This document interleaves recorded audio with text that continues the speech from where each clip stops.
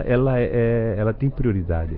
Repare que é o único ministério que o Niemeyer, quando pensou, fez diferente, o Ministério da Justiça. Uhum, Na verdade, todos os outros são iguais, a justiça é completamente diferente. Agora, para chegar nela, passa pelo legislador. O legislador passa pela vontade da população, passa pelo nível de consciência da sociedade, porque cada período do, do, do, da, da, vida, a sociedade tem um nível de, de entendimento. Você acha que com o passar do tempo as instâncias foram perdendo o respeito uma pela outra ou foram perdendo exatamente aquilo que é o essencial, que é o foco de cada uma delas? Eu diria o seguinte, que há uma, um processo de, de mutante. Né? Havia, havia instituições é, conservadoras, né? dentro do. Eu digo conservadoras porque você tem, ao, ao longo de cento, cento e poucos anos, um país que votava os donos de terra, os homens, né? e aos poucos, e, e menos de 200 anos isso, foi alterando, alterando, as mulheres não votavam, são 70 e poucos anos que as mulheres começam a votar, quer dizer, então o, o, o sentido de direito muda, de valor de liberdade, quer dizer, hoje ninguém imagina que vai impedir uma mulher de votar, né? Então, dentro daquela visão, você tinha instituições mais sólidas, você podia dizer assim, não. Em determinado período, o Supremo era um Supremo mais mais competente, mais, vamos dizer assim, mais robusto em termos de, de conteúdo de, de, é, técnico. Só que o, o, mundo mudou, o país mudou, entendeu? Uhum. Quer dizer, então eu, o que precisa agora é, é, é afinar dentro da, da, do, do, século XXI, a, a, as instituições se robustecerem dentro dessa nova verdade, certo. dessa nova realidade. Por exemplo, o Ministério Público não existia. Se você levantar alguns anos atrás, você não tinha esse papel. Então, essa é o papel, é de fortalecer essas instituições e, e tendo a coragem de abrir essa discussão, porque é difícil. Porque uma fica achando que a outra está é, tá, tá invadindo. Vou dar um exemplo. Por exemplo, a, a, o, o, a, fiscalização, o moralismo que foi criado muito grande em, em cima do nepotismo. Repare bem, salutar, saudável, não é justo. Aí que foi que ocorreu hoje tem o nepotismo cruzado. Verdade. E aí, aí virou promiscuidade entre os Eu não poderes. aproveito aqui, mas aproveito um outro que não é aproveitado lá enquanto o outro. Então, então às vezes não é, não é só isso, quer dizer, parte por uma visão diferenciada, não é simplesmente botar no corpo da lei. Você está entendendo? Então, é isso que eu digo que é, é um processo de mutuação que a gente está vivendo. Perfeito. Nós vamos ter a oportunidade de poder lhe ouvir com muito mais propriedade. Está começando já o evento aqui. Eu não quero a, a, a, que o internauta perca o fio da meada e nem que o senhor perca uma parte do assunto. Tá muito bom. obrigado. Seja bem-vindo. Essa é a sua primeira entrevista à Rádio Legalidade. Espero que seja a primeira de muitas. Pois é, isso eu queria lhe comprometer. Eu agradecer por você ter me chamado, me dar essa oportunidade de falar, sobretudo para os meus companheiros e companheiras do PDT, e, e pedir outras, outros momentos em que a gente possa continuar refletindo, pensando, entendeu? Porque é exatamente colocando essas ideias que a gente vai receber, e até contestação do que a gente pensa, para melhorar e aperfeiçoar. Muito obrigado. Nós estamos formatando nossa grade de programação e logo, logo o senhor pode certeza será intimado. Tá bom, muito obrigado, governador. Felicidades. Nós vamos então agora para o som da mesa principal, aonde o secretário nacional do partido, Tom Manuel Dias, já dá abertura dos trabalhos da tarde de hoje. Já está em andamento. O tema de hoje à tarde é reforma política e organização partidária. É painelista o deputado Paulo Rubens Santiago, nosso deputado do estado de Pernambuco, e que tem uma atuação de destaque como deputado federal, especialmente nas áreas de educação, economia, né? E tem dado uma grande contribuição. Vai estar lá ele e o senador Cristóvão Buarque no nosso nossa Conferência Nacional de Educação. Paulo Rubens, vamos, já acertamos em todos os estados, Paulo Rubens está lá. Acertamos em todos os estados, hein, Paulo Rubens? A realização das conferências regionais, estaduais e depois, dia 21, a Conferência Nacional de Educação lá em Brasília. Então, eu passo a palavra ao deputado Paulo Rubens para abordar a questão da reforma política, que, pelo que se vê, parece que já abortou ou não. Bem, muito boa tarde, companheiros e companheiras. Eu quero agradecer o convite que recebi do deputado André Figueiredo, nosso secretário Manuel Dias, para estar aqui em Fortaleza. Como disse o nosso secretário, nós concluímos às 4h40 da manhã de hoje a votação na comissão especial da proposta de emenda constitucional 61, enviada pela presidenta Dilma, cuja proposição principal é prorrogar até 2015 a continuidade de uma ferramenta chamada DRU, desvinculação das receitas da União, que começou muito antes disso, em 1994, com outra nomenclatura, com outra abrangência, mas que, em síntese, como eu tenho dito nos programas de rádio, nas entrevistas, a DRU é uma mordida. É uma mordida que é dada pelo Poder Executivo na arrecadação federal e é transferida de diversas fontes para uma conta única, para a conta única do Tesouro Nacional. Desde 1994 até agora, a DRU vem sendo substituída e deixa de incidir sobre alguns recursos da União. Primeiro, deixou de dar a sua mordida nos fundos de participação para os estados e municípios, depois deixou de dar a sua mordida nas receitas próprias do INSS, e há dois anos deixou de dar a sua mordida, 20%, nas receitas federais que iam para o Orçamento Federal da Educação. E eu apresentei uma PEC, com amplo apoio do partido, para que a DRU, a partir do próximo ano, deixe de dar a sua mordida no orçamento e na arrecadação da Receita Federal, da Seguridade Social, que é superavitária, que no ano passado teve um superávit de 58 bilhões e que, segundo a Constituição, quem deve financiar a saúde é a Seguridade Social. Nós ontem perdemos a aprovação da nossa PEC, mas apresentamos um destaque, e esse destaque obteve os votos do PDT, do PSB e alguns votos da oposição, mas nós temos aí uma perspectiva promissora de negociar em plenário um outro destaque que possa vir a reduzir progressivamente essa incidência da DRU sobre a Seguridade Social. Então nós terminamos às 4h40 e eu praticamente vim direto aqui para Fortaleza. Cumprimentar meu amigo, presidente do PDT de Pernambuco, prefeito Caruaru, ex-deputado comigo, meu líder da oposição ao governador Jarmas Vasconcelos na época, meu amigo Zé Queiroz, e dizer que esse tema da reforma política é mais ou menos como a discussão que antecede as finais de campeonato, Copa do Mundo, Taça Libertadores, Copa das Confederações. Futebol, reforma política e reforma tributária, o Brasil tem 190 milhões de especialistas, não é? Mas nós temos uma visão muito clara de que a discussão da reforma política, ela não pode ser feita apenas no campo isolado da política ou da área jurídica. Nós não podemos separar as relações da política com a economia. O Brasil, no ano de 2012, vai completar 30 anos do início do restabelecimento do calendário eleitoral democrático, lembrando-nos lá atrás das eleições para governadores de estado em 1982.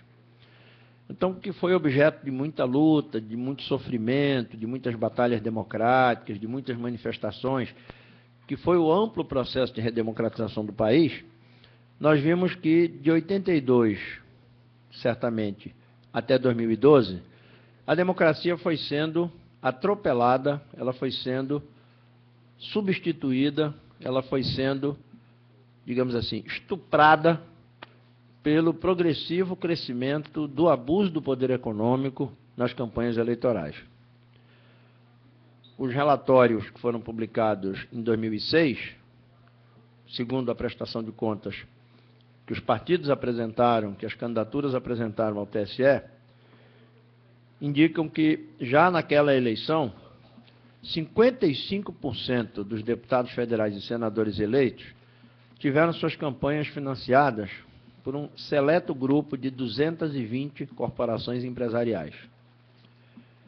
Então, isso demonstra, sem entrar também no mérito das contribuições ilícitas, dos chamados caixas 2, dinheiro não contabilizado e por aí vai, que o Brasil de um lado, restabeleceu o seu calendário democrático, restabeleceu as eleições em todos os níveis, já vamos para quase uma dezena de eleições presidenciais, mas, ao mesmo tempo, nós vimos que as elites econômicas que patrocinaram o golpe militar de 64 e que viveram em conluio com a ditadura militar até a redemocratização, rapidamente estão se reciclando e rapidamente estão se apropriando da democracia com a aguda intervenção do poder econômico nas campanhas eleitorais.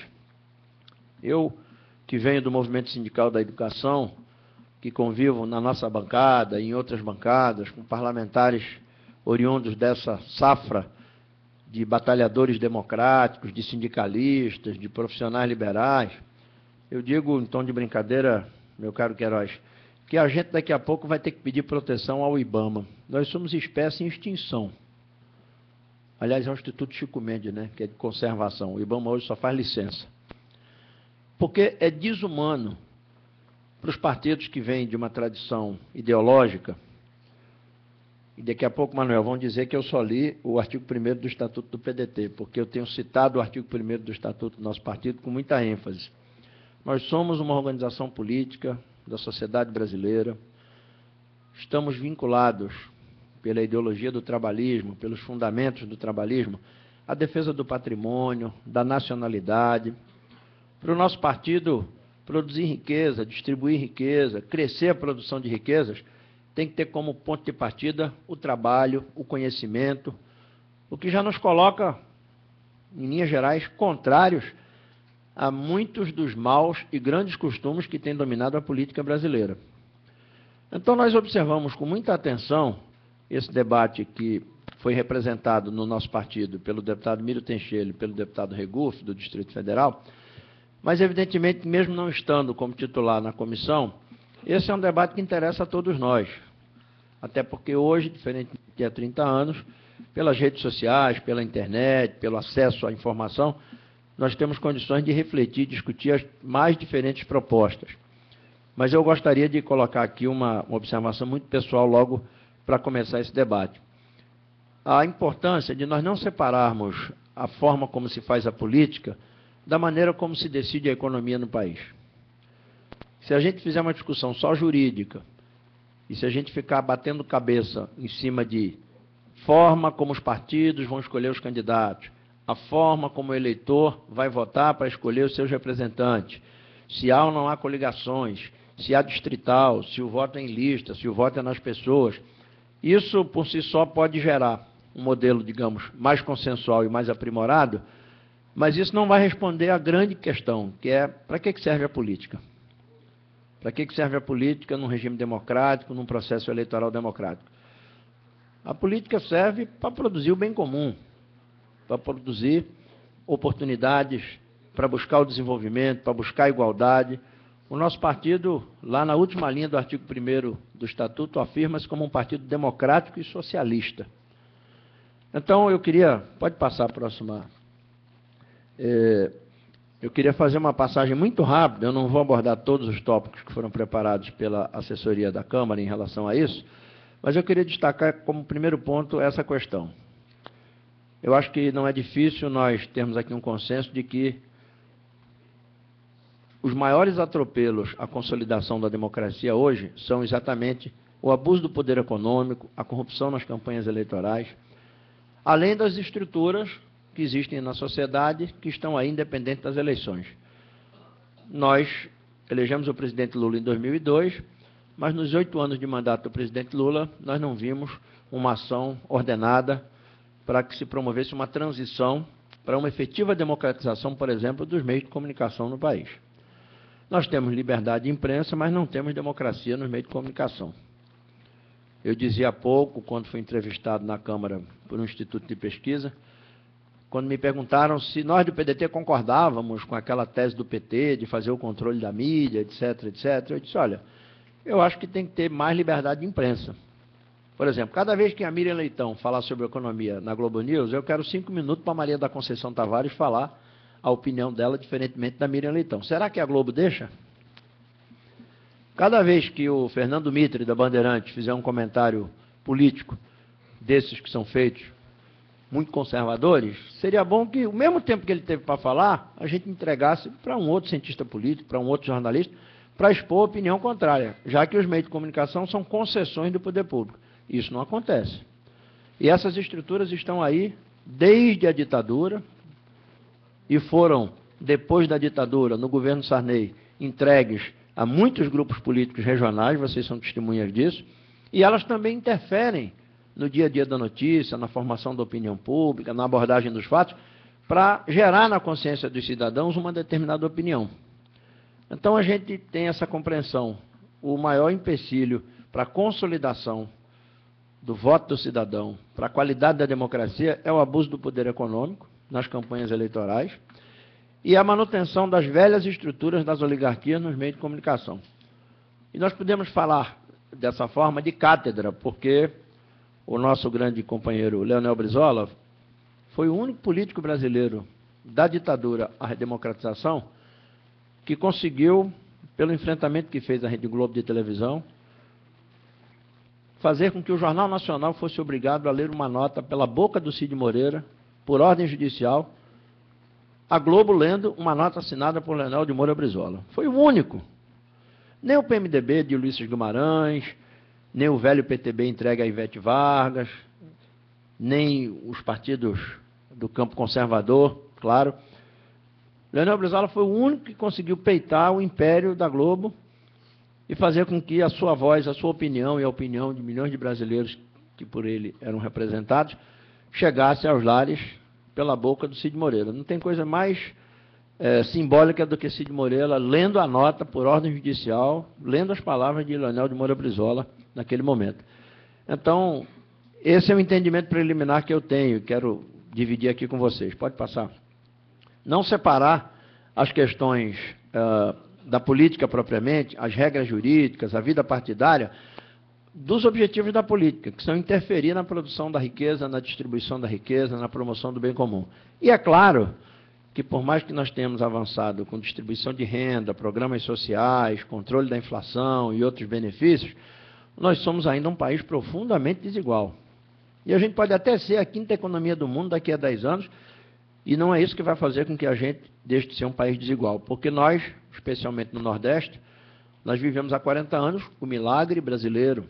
O Nordeste cresceu com taxas maiores do que o Japão, a Coreia, a Holanda, a Inglaterra, toda a Europa. E ainda é hoje a região mais pobre, a menor renda per capita, é a região com os piores índices de saneamento, a região com os piores índices de acesso à educação.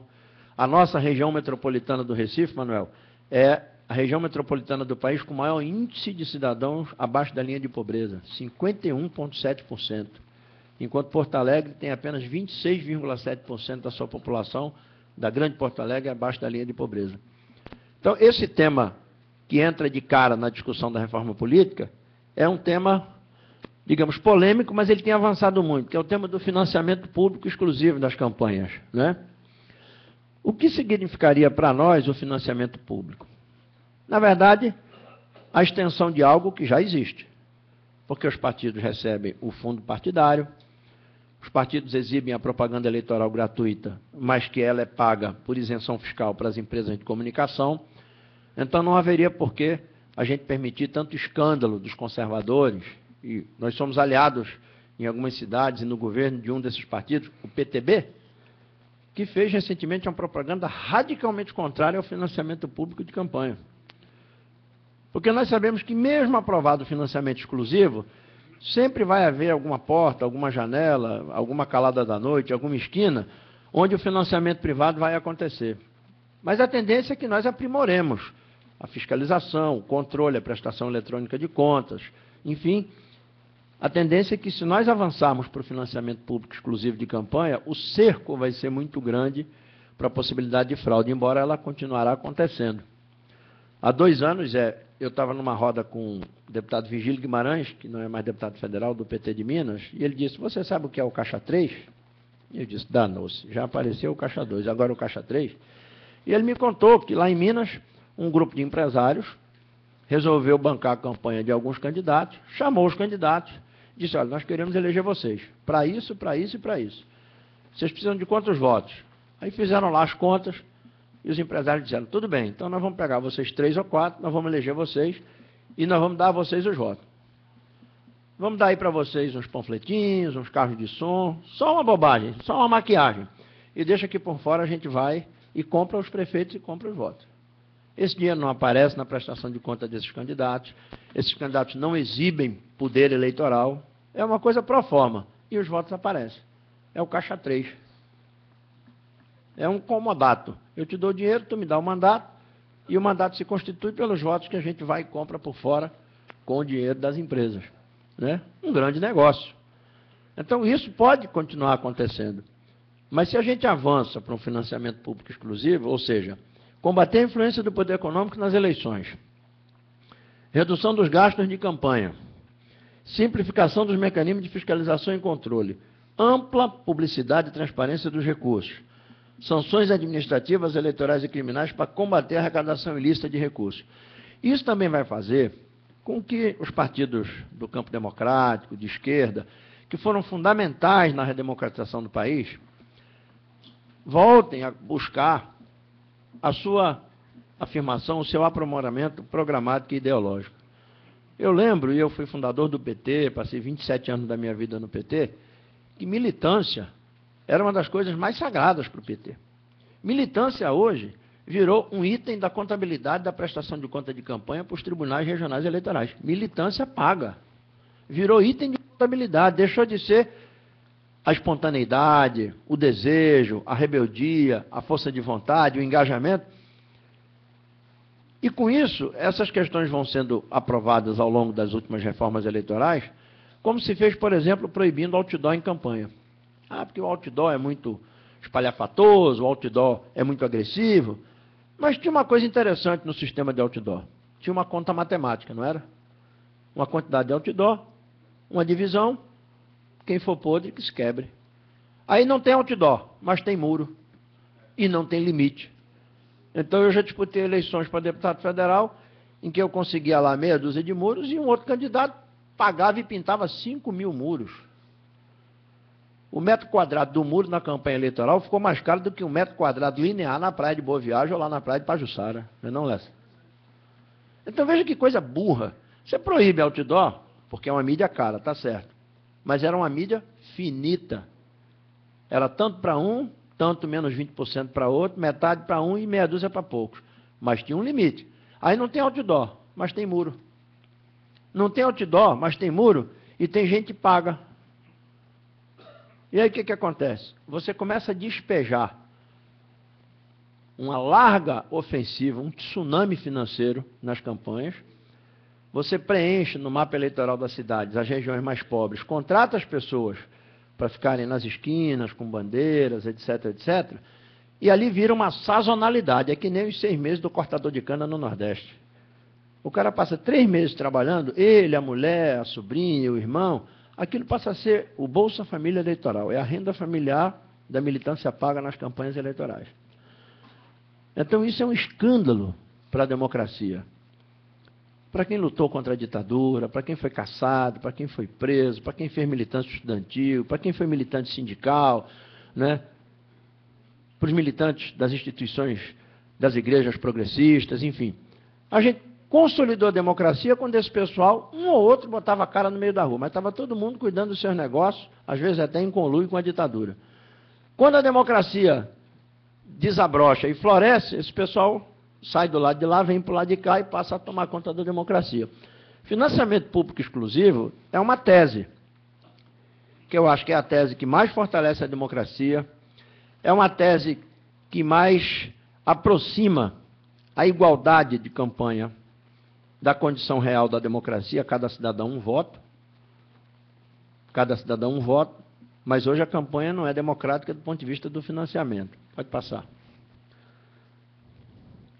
As regras gerais que são propostas pelo deputado Henrique Fontana também inovam não é, com a criação do Fundo de Financiamento de Campanhas, com recursos do orçamento da União e contribuições de pessoas. Financiamento de campanha por doação de pessoas físicas e jurídicas, seria feito única e exclusivamente para este fundo. É mais ou menos, não sei se muita gente aqui ou alguns atuam na área dos projetos culturais, de leis de incentivo à cultura. É mais ou menos é o que a gente fez em Pernambuco. Em Pernambuco, até um certo tempo, o artista aprovava o seu projeto, pegava a certidão, botava embaixo do braço, saía de empresa em empresa. Terminou que o projeto valia 200 mil, a empresa dava 100 e ficava com certificado de 200 para não pagar imposto. Isso acabou, criou-se um fundo. Então, a empresa que quiser deduzir o imposto, ela não dá para o projeto individual, ela deposita no fundo e o Estado passa o dinheiro líquido para o projeto cultural. A ideia é mais ou menos essa. É a contribuição de pessoa física e pessoa jurídica ser para o fundo, e aí o fundo distribui, por exemplo, como se distribui hoje o fundo partidário proporcional aos votos, proporcional à bancada. Claro que os maiores sempre vão ter a tendência de ter mais. Mas isso não significa que os grandes também não possam perder uma eleição, como já perderam muitas vezes. E os pequenos não possam crescer. Sobretudo como nós crescemos, como o PT cresceu, como os partidos socialistas têm tentado crescer, de mãos dadas com as grandes causas do povo. Não é? Bom, financiamento de campanha feito exclusivamente com recursos do fundo Dinheiro do fundo partidário não pode ser utilizado em campanha. Os recursos do fundo administrados apenas pelos partidos e comitês eleitorais e o montante de recursos públicos proposto pela Justiça Eleitoral.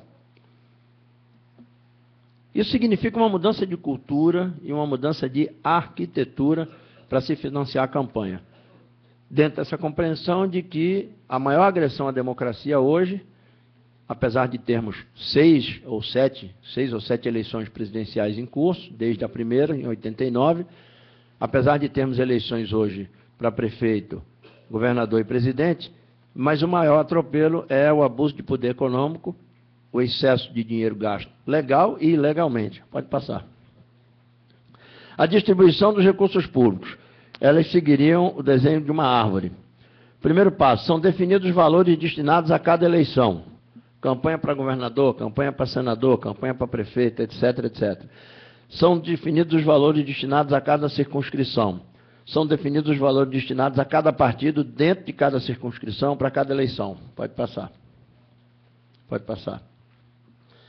As eleições federais e estaduais.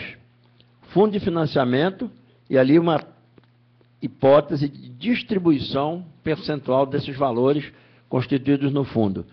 12% eleição de presidente, 20% eleição de governador, 9 ou 5% eleição de senadores, 27% eleição dos deputados federais, 27 deputados estaduais e mais abaixo para os órgãos da direção nacional dos partidos. Pode passar? Bom, e ali vai uma subdivisão, né? É, dos 12% para a eleição presidencial, 5% para todos os partidos registrados no TSE. 15% igualmente para todos os partidos com representação na Câmara dos Deputados e 80% proporcionalmente ao número de votos no país para a Câmara dos Deputados. De uma certa forma, desequilibra a favor dos maiores. Mas isso não quer dizer que isso vai ser ad eterno a perpetuação dos grandes partidos, até porque, com raras exceções, alguns partidos são hoje médios, mas não são partidos vinculados às causas sociais nem às ruas. São partidos que têm sido hospedeiros dos governos de plantão desde o fim da ditadura. Pode passar? A divisão entre as unidades da federação. Pode passar. Vou tentar acelerar. Fundo de financiamento, eleição de governador, senador, deputado federal, deputado estadual, estados e Distrito Federal. 70% de acordo com o número de eleitores e 30% na representação na Câmara dos Deputados. Pode passar. Divisão entre os partidos em cada estado. Senadores, 5%, segue a mesma mecânica da divisão para a eleição presidencial praticamente. 5% igualmente para todos os partidos registrados no TSE, 15% para os que têm representação na Câmara e 80% proporcional ao número de votos no Estado para a Câmara dos Deputados. Isso aí, nacionalmente, no caso do PDT, nós íamos ter estados com a conta um pouco mais gorda, estados com a conta mais ou menos e estados com a conta bastante precária, sob essa lógica, nessa divisão hipotética. Deputados federais, 5%, 15,80%, igualmente para todos que têm registro, igualmente para todos que têm representação e proporcional ao número de votos no Estado. Pode passar. Governadores, 5, 15, 80, a mesma regra, a mesma proporcionalidade. Pode passar. Deputados estaduais, da mesma forma. Ou seja, você teria três janelas, cada janela com um percentual, e cada uma das janelas repetindo-se para senadores federais, governadores estaduais, com os mesmos critérios. Repito, pegando-se hoje a situação atual, nós íamos começar com os grandes partidos beneficiados. Só que os grandes partidos, com algumas exceções, grandes ou médios, têm diferença na constituição dessas bancadas.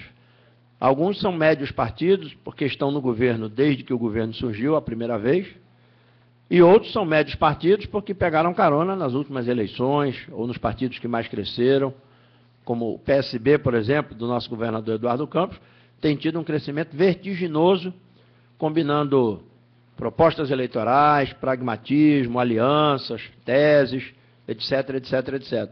O que não quer dizer que esse contexto sempre se repita.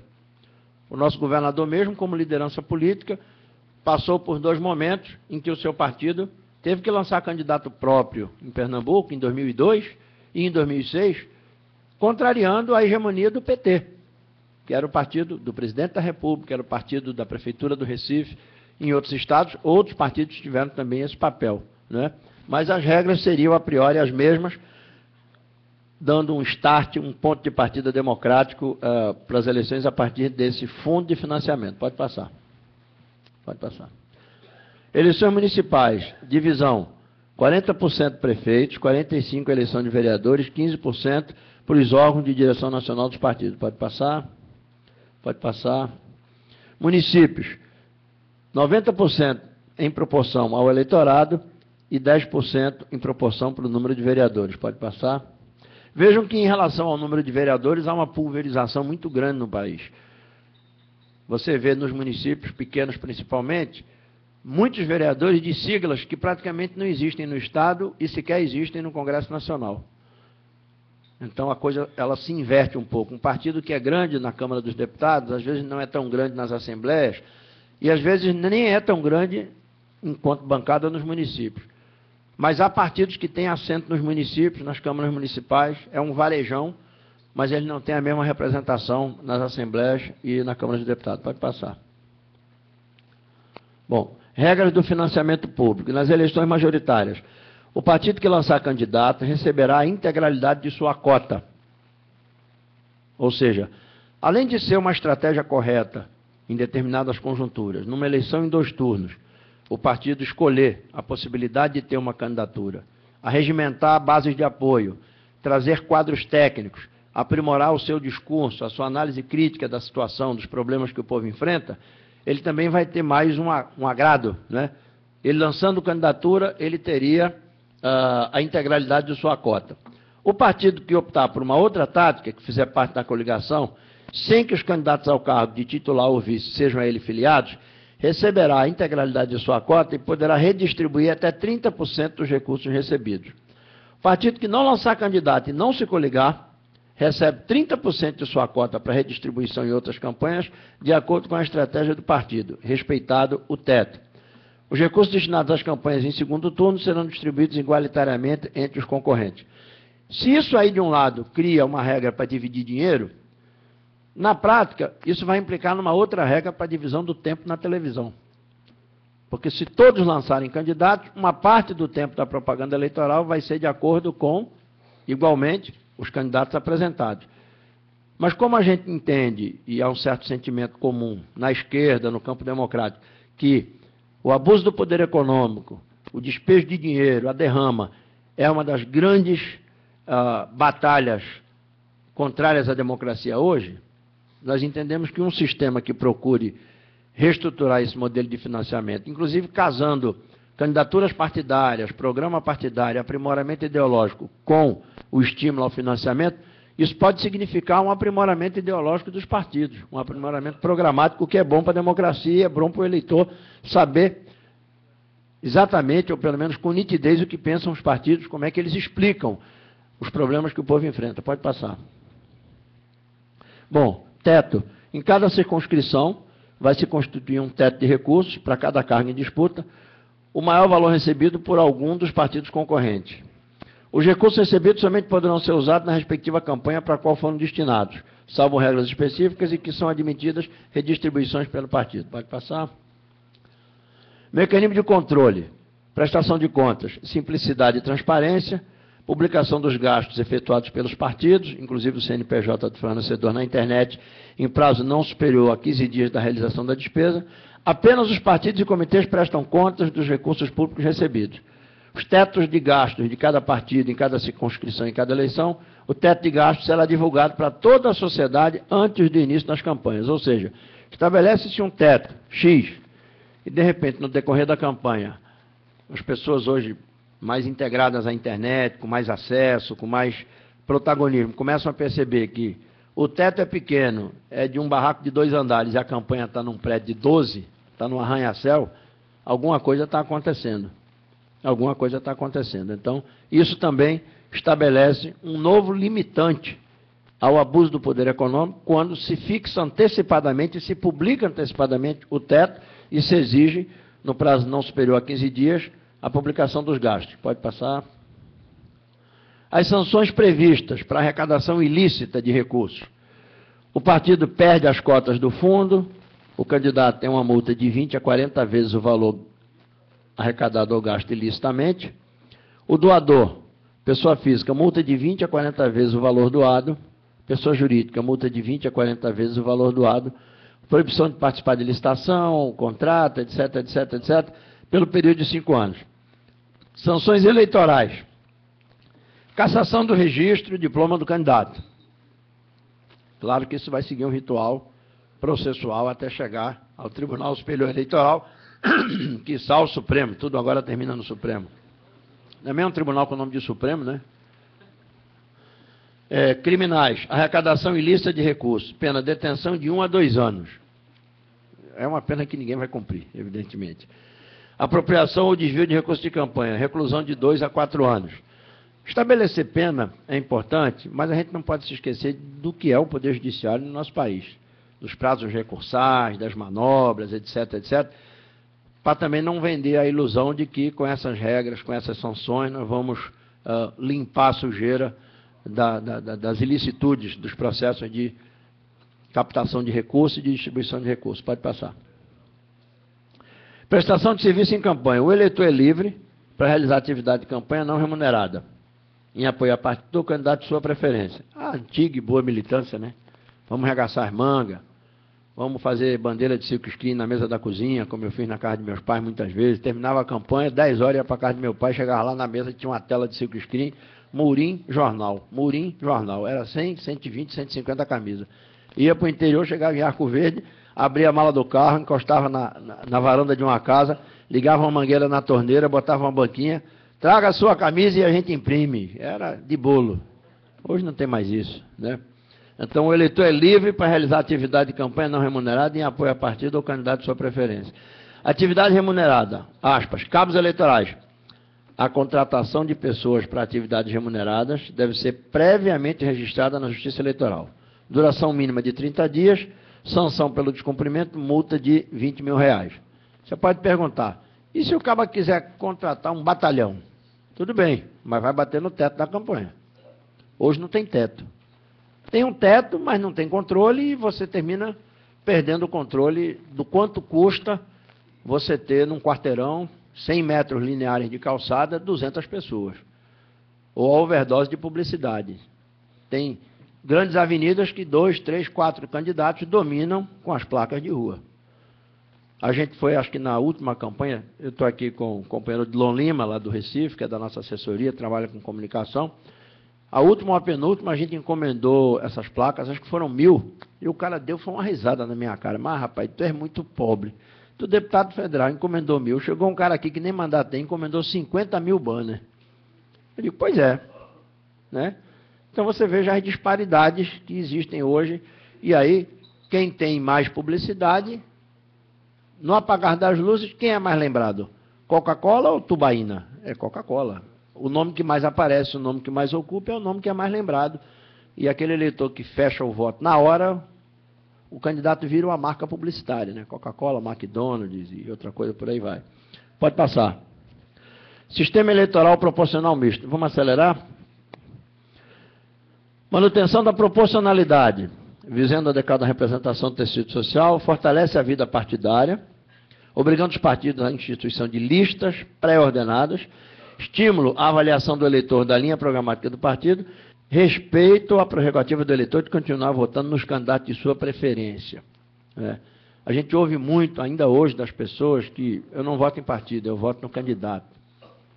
E tem gente que, se você der a ele a opção de votar numa lista partidária, ele vai votar de olhos fechados, porque aquele partido ele conhece, aquele partido ele pesquisou, aquele partido ele tem boas referências, né? tem estatuto, não tem folha corrida e por aí vai. Né?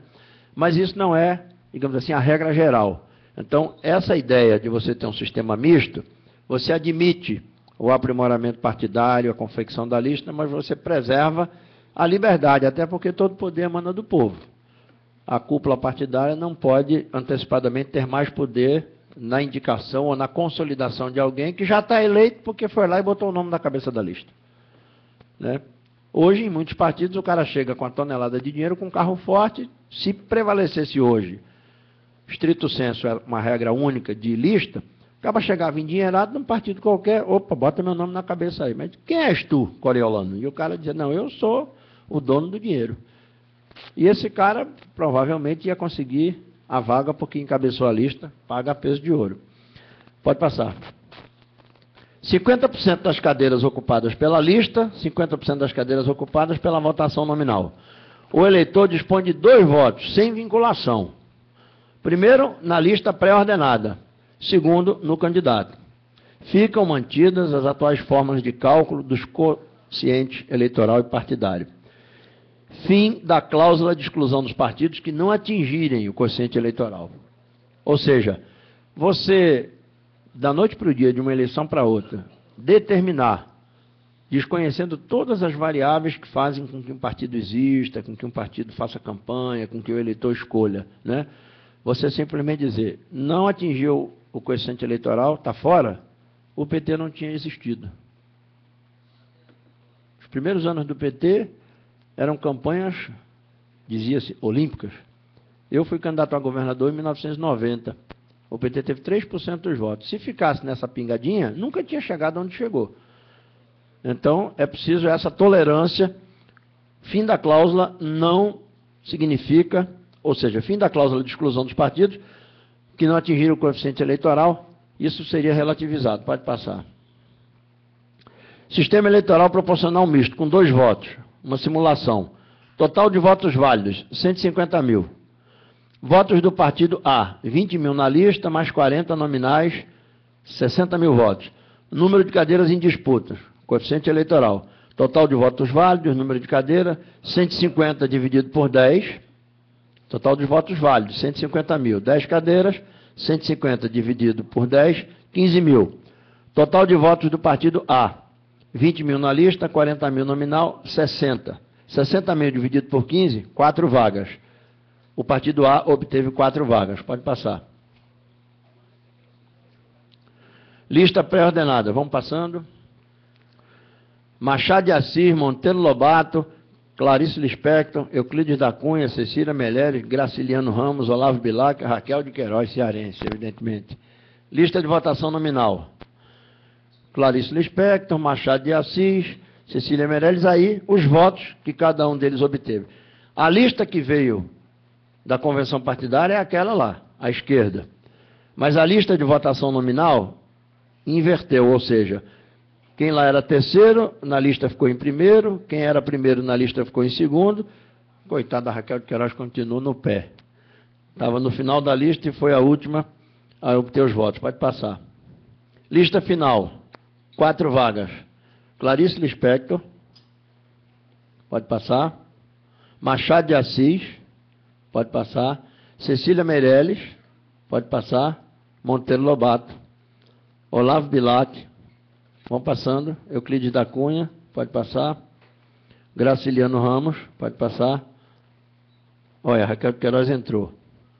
Então, você faz uma composição entre os votos nominais e as vagas obtidas proporcionalmente aos votos que foram dados na lista. Pode passar. Quantos foram os eleitos? Não eram quatro vagas? Foram eleitos Clarice Lispector, Machado de Assis, Cecília Meirelles e Monteiro Lobato. Isso a gente pode depois deixar para outras simulações e para uma análise mais detalhada. Pode passar então? Regra para a formação da lista: alternância de gênero em cada grupo de três candidatos. Forma de escolha interna do partido: voto secreto. O partido pode escolher voto nominal em convenção, obrigatoriamente em quatro votos, voto por chapas em convenção pelo sistema proporcional, prévias abertas à participação dos filiados votação nominal ou em chapas. Aí você tem várias modalidades, é um mix de opções para o partido escolher. Pode passar. Partidos políticos, vamos lá. Regra de divisão de recursos dentro do partido. 50% dos recursos recebidos pelo partido para as eleições proporcionais devem ser distribuídos igualitariamente entre os candidatos. 50% do tempo de TV nas eleições proporcionais distribuídos igualitariamente entre todos os candidatos ao mesmo cargo. Federações. Atuação como uma única agremiação partidária, permanência mínima de três anos, com abrangência nacional ou estadual. Pode passar. Filiação partidária. Prevalece a última. Criação de partidos. Tem que ter uma pré-filiação, não um mero apoiamento. Comissões provisórias. A apresentação de candidatos por partidos com órgão constituído provisoriamente será admitido apenas na primeira eleição após sua constituição. Passou a primeira eleição, tem que transitar da comissão provisória para o diretório. Programa de promoção e participação política das mulheres e dos negros. Aplicação de recursos do fundo partidário, observado percentual mínimo de 5% para cada programa. Essa matéria última, nós tivemos há dois anos uma discussão interessante no Congresso, que foi a definição da participação das mulheres no tempo da propaganda eleitoral programática, aquela que é fora de campanha, e no uso dos recursos do fundo partidário. E eu me recordo que eu fui um dos deputados que debati essa matéria na tribuna, até propondo uma reflexão aos nossos partidos. Se o contingente populacional brasileiro, mais da metade é constituído de mulheres, e quando você distribui esse universo de mulheres pelas estratificações de renda, instrução, e pelos índices de desenvolvimento humano, você tem a grande maioria dessas mulheres nas situações de mais precariedade, seria inteligente, seria inteligente que os partidos avançassem na destinação dos seus recursos do fundo partidário para conhecer melhor essa realidade dessas populações. Ou seja, para que os partidos pudessem destinar mais recursos para montarem suas bibliotecas especializadas, para fazerem seus núcleos de pesquisa, para produzirem mais conhecimento sobre essas realidades e, em função desse conhecimento, gerarem políticas para essa realidade. Hoje nós não temos isso muito amadurecido na maior parte dos partidos. Não é muito claro nos fundos partidários como é que você uh, aplica um percentual dos recursos do fundo partidário nessas atividades de pesquisa, de investigação. Eu tenho observado que o PDT, com a Universidade Leonel Brizola, Alberto, a Universidade Leonel, a Fundação Leonel Brizola, Alberto Pasqualini, com a Universidade Aberta, Leonel Brizola, com a Rádio Web, com outros mecanismos, é o partido que mais está se mexendo nessa perspectiva. Nem o Partido dos Trabalhadores, com toda a sua força, com toda a sua máquina, conseguiu chegar, a não ser a permanência da Fundação Perseu Abramo, que depois do Instituto Cidadania passou a ser uma fundação praticamente secundária, né? depois da criação do Instituto Cidadania pelo Lula, a Fundação Pessoal Abramo ficou num plano menos, menos representativo. Mas seria inteligente para os partidos aprimorarem ah, o seu embasamento teórico, as suas fontes de financiamento de pesquisa, de produção de conhecimento, até para ser um partido que, quando fala, por exemplo, da questão da mulher, da questão de gênero, não fala o que todo mundo fala. Fala com mais profundidade, com mais eh, eh, propriedade, com mais conhecimento. Pode passar. Democracia participativa. Vamos lá. Iniciativa Popular. Projeto de lei, subscrição de 500 mil eleitores. Emenda constitucional, subscrição de 1 milhão e meio de eleitores. Forma de subscrição de proposições com uso da internet. Até que seja universalizado o fornecimento gratuito é, dos meios de certificação digital à população, ficará equiparada a assinatura digital à inserção de dados do eleitor em cadastro específico administrado pela Câmara dos Deputados. Né? Previsão, 10 anos. Dados do cadastro específico: nome completo, nome da mãe, número do título de eleitor. Pode passar. Referendo. Aprovadas as proposições ora apresentadas, a vigência será imediata. As regras relativas ao financiamento público de campanha e ao sistema eleitoral serão submetidas à consulta popular, referendo, na terceira eleição para a Câmara dos Deputados. Você faz a primeira, faz a segunda, prestou ou não prestou, melhorou ou não melhorou, continua tudo do mesmo jeito, na terceira você faz um referendo. Em caso de rejeição, serão restabelecidas as regras de financiamento do sistema eleitoral vigente antes da aprovação da reforma política. Pode passar. Proposta de emenda à Constituição. Pode passar. Suplente senador. Suplente será o candidato a deputado federal mais votado na última eleição para a Câmara, na respectiva circunscrição, sob a mesma legenda do titular do mandato, ainda que não tenha sido eleito, observado o requisito de idade mínima. O suplente substituirá o titular, mas não o sucederá. Havendo vacância definitiva, far-se a eleição para senador na eleição subsequente. Vedação de coligações partidárias em eleições proporcionais. Pode passar. Data de posse em cargo do Executivo, 5 de janeiro, 10 de janeiro, 15 de janeiro. Alteração do domicílio eleitoral em eleições municipais e proibição expressa do, do prefeito itinerante. O domicílio eleitoral exigido nas eleições municipais passa a ser o domicílio em qualquer município do Estado. Fica vedado o exercício de mais de dois mandatos consecutivos de prefeito em quaisquer municípios. Pode passar. Bom, eu queria, portanto, só destacar que, como eu disse no início, até em tom de brincadeira, reforma política, reforma tributária e futebol, você é capaz de ter aí pano para as mangas para discutir com um número muito grande de pessoas da sociedade. Mas quando você começa a aprimorar aquelas questões que tendem a fortalecer a democracia, a igualdade e combater o abuso dos poderes, seja da mídia, seja do poder econômico, aí você vai mover essas estruturas contra você. Por exemplo, por que, que o PTB fez uma campanha agressiva contra financiamento de campanha? Com spots de rádio dizendo: vão usar o seu dinheiro para gastar com política, ou coisas do gênero. Um partido político demonizando a política. Como se política fosse uma coisa suja, desnecessária, prejudicial à vida em sociedade.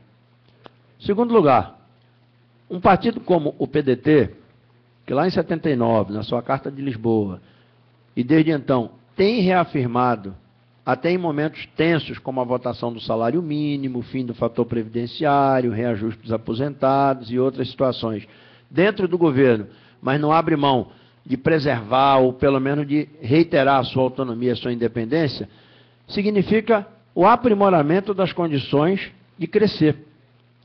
Porque hoje, para crescer pela via do dinheiro, não é difícil. Essa última eleição de 2010, algumas empresas que têm negócios no Centro-Oeste, sede jurídica no Centro-Oeste, ou negócios no Sul e no Sudeste, sede jurídica no Sul e no Sudeste, fizeram leilão de fundos.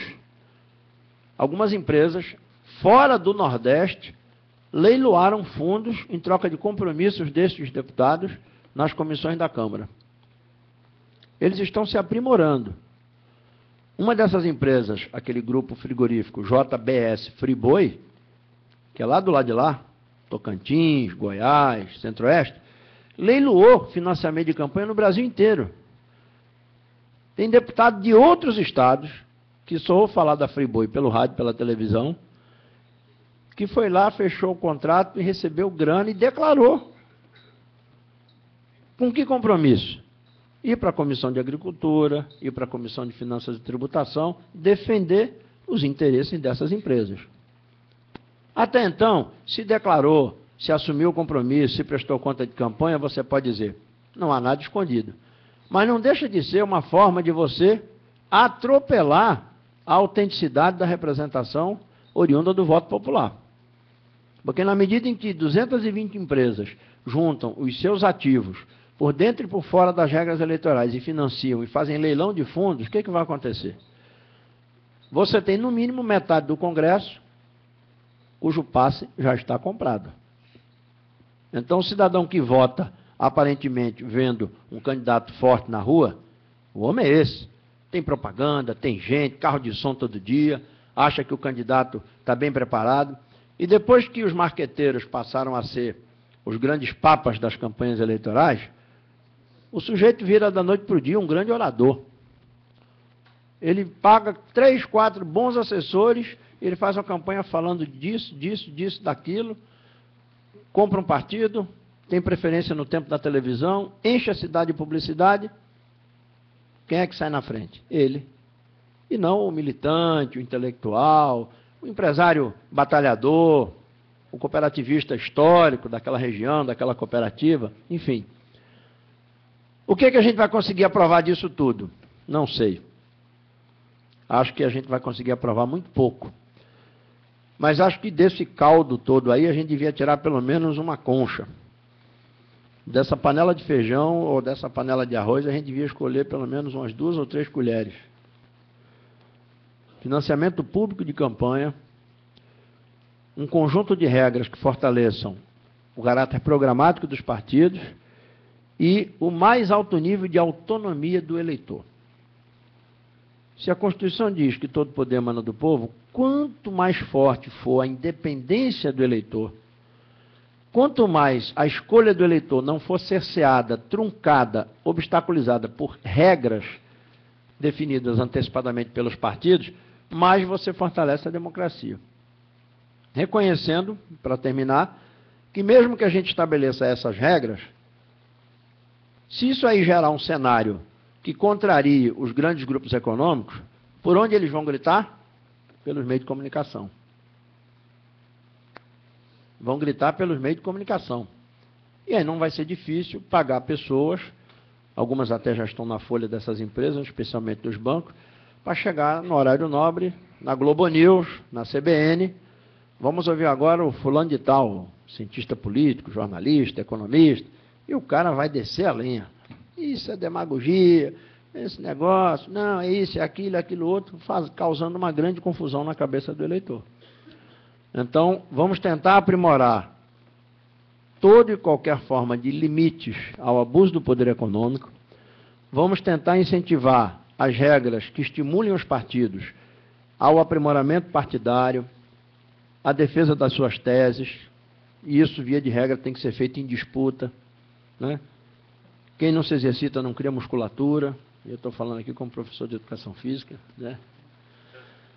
E eu espero que o PDT, que tem sido reiteradas vezes um partido teimoso, um partido brigante, um partido que queiram ou não queiram, nunca se omitiu da cena política nacional, possa ser um dos grandes propulsores de algumas dessas teses. Não, não vamos aprovar todas, infelizmente. Mas se a gente conseguir aprovar força à identidade programática, força para a autonomia e independência da escolha do eleitor, e conseguir aprovar regras mais democráticas ou menos desiguais de financiamento de campanha, nós já vamos ter dado um passo muito grande. Eu acho que essa é uma questão fundamental, que a nossa Universidade Leonel Brizola, que a Fundação Leonel Brizola Alberto Pasqualini, agarrem de fato esse tema e a gente possa carregá-lo aí até a última hora mobilizando o partido, construindo consensos, construindo identidade, definindo quais são as nossas teses, para a gente ter um papel.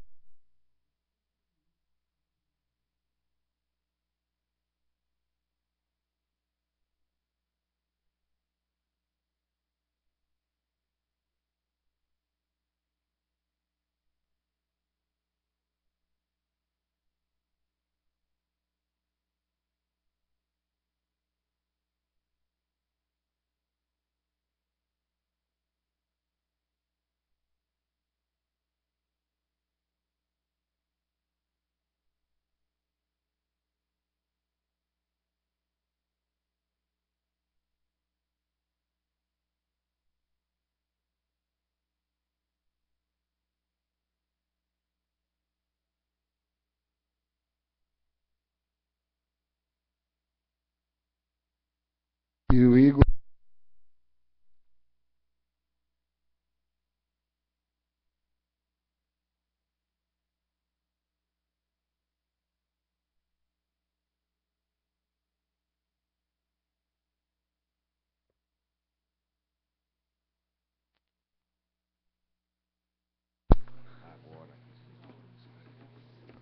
O seguinte, o partido está aguardando a definição do processo de discussão e debate sobre a questão da reforma política e defendemos também a reforma partidária para democratizar os partidos, porque a, a, reforma política adotada alguma dessas medidas aí, da lista única, a lista fechada, ela tem que ter um partido realmente democrático para não sofrer manipulação pelas suas direções na escolha e na construção dessas chapas. Então, por isso que é importante, fundamental, aquilo que nós estamos fazendo já. A nucleação do partido, a discussão política, para quando isso vir, um dia vai vir, a gente tenha um partido democrático de verdade, com a participação da base partidária na construção dessas engenharias que vão levar à eleição. Então o partido está aguardando, porque se, não, se for rejeitada, né, o deputado, se for rejeitado o parecer do, do relator, do deputado Henrique Fontana, morreu a reforma, né? Então está para ser votada na Câmara o relatório do, do, do, do, do relator, do Henrique, Henrique Fontana. Era para ter sido votado no mês passado, mas não foi possível colocar em votação porque perderia. Perderia. Então, a, a, aprovação do relatório não significa aprovação das propostas, significa que vai para o plenário, para o debate, e vai permitir aos partidos que façam emendas e façam propostas de mudanças. Então, aprovada, aprovado o parecer do relator, nós vamos convocar uma reunião do Diretório Nacional para que o partido defina ah, posições e feche a questão em temas que para nós serão fundamentais. Eu acho que hoje é unânime no partido a questão da fidelidade partidária, a questão do financiamento público de campanha, né? É, mas nós temos que clarear bem a posição nossa, fechar a questão para que a nossa bancada tenha uma orientação de como deva proceder nas votações dessa reforma. Então, para isso nós temos que debater, estamos debatendo. Então, vamos. Hein? Então, pela ordem de inscrição, passamos a palavra ao prefeito Fábio. Boa tarde, deputado. Meu nome é Fábio, sou prefeito da cidade de Nossa Senhora do Socorro, na região metropolitana de Aracaju. Então, no Socorro, prefeito. Isso. É, deputado, havia uma, uma expectativa que essa reforma já valesse agora para a eleição de 2012. O tempo passou e nós vamos ter em 2012 a eleição com as mesmas regras anteriores.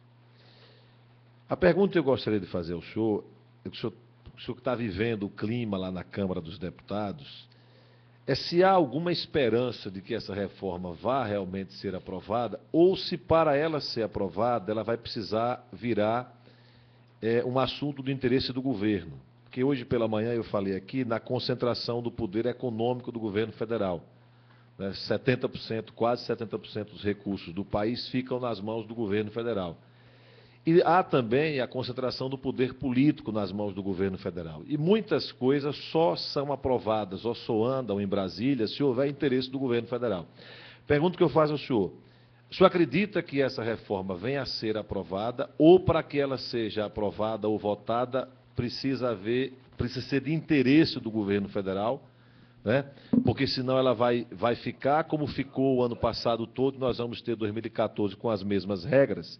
E segundo, eu sei que o senhor já falou, o Pedro Manuel Dias falou também, mas eu queria que o senhor explicasse melhor, de forma mais detalhada, os critérios da escolha da lista. Eu acho que essa é a preocupação maior de todos é, quando ouvem falar na lista. Quais os critérios é, objetivos para a escolha da lista. Pergunta do prefeito Fábio de Nossa Senhora do Socorro ao deputado Paulo Rubens Santiago. Houve uma movimentação para que o tema da reforma política, da, da vida partidária, passasse, digamos assim, por uma, por uma revisão.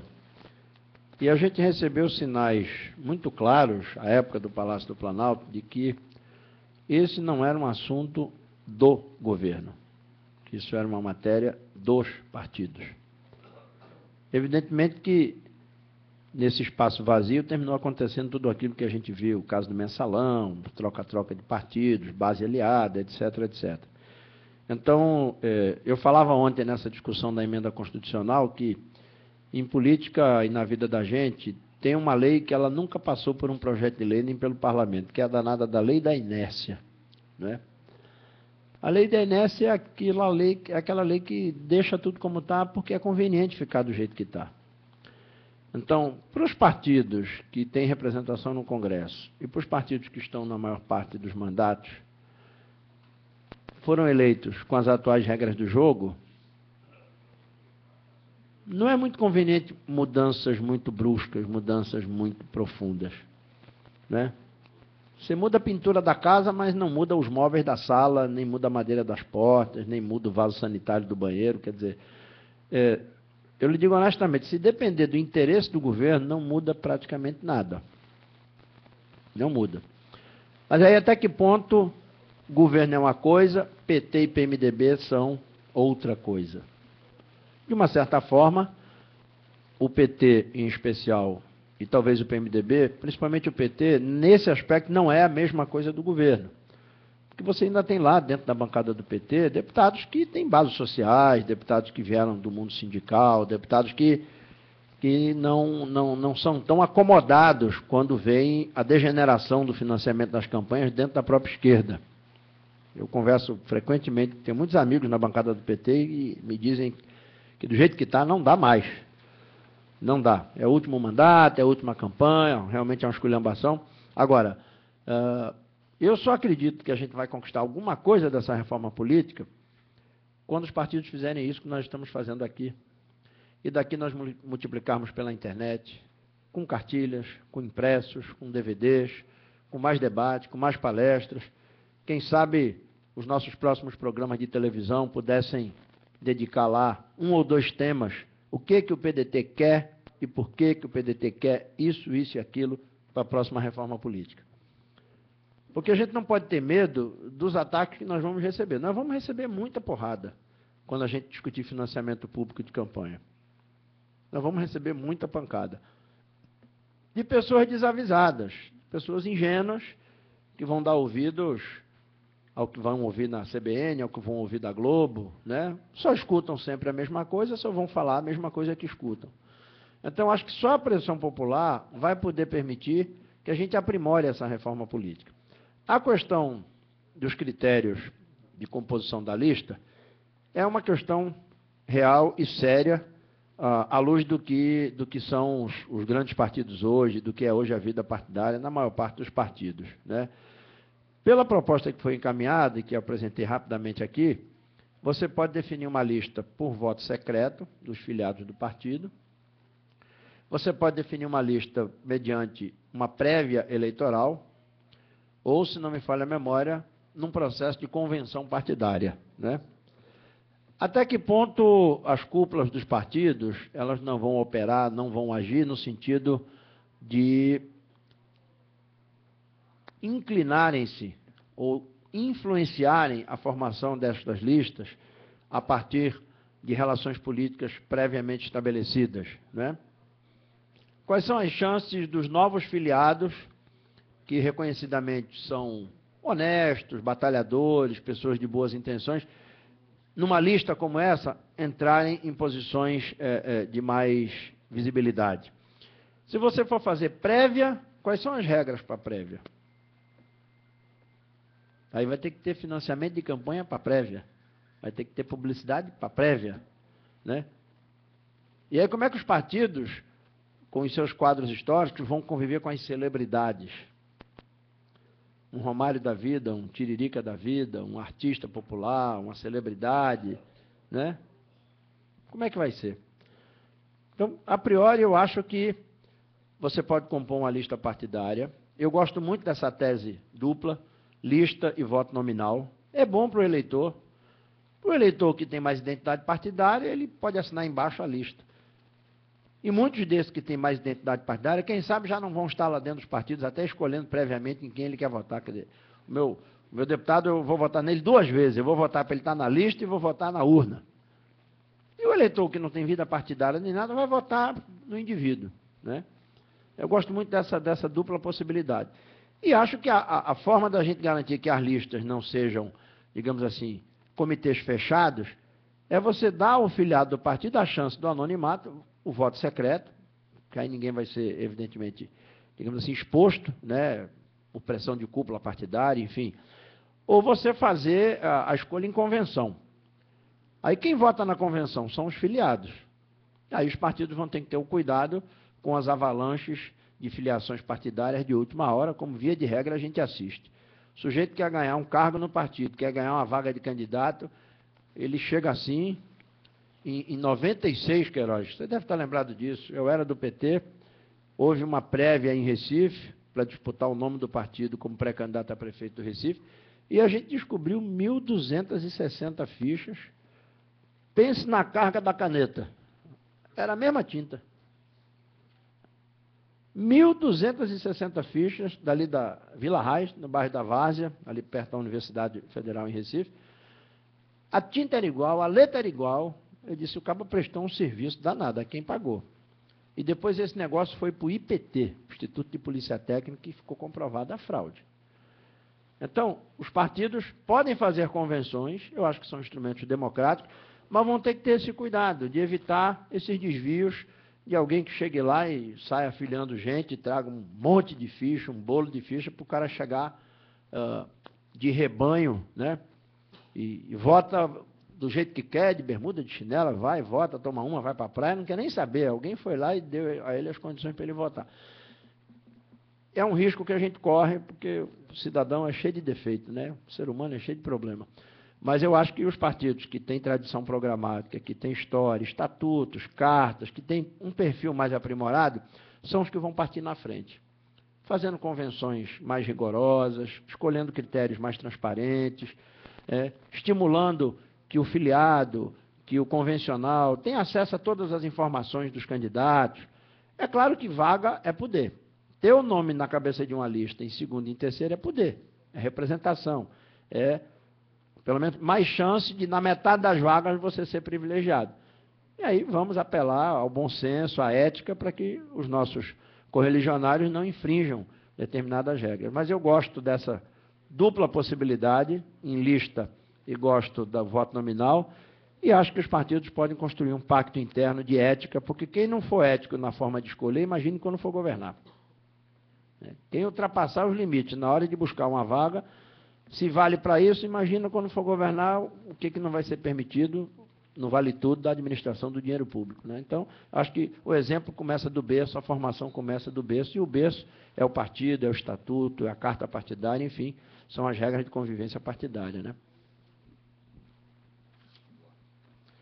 Eduardo, Sergipe.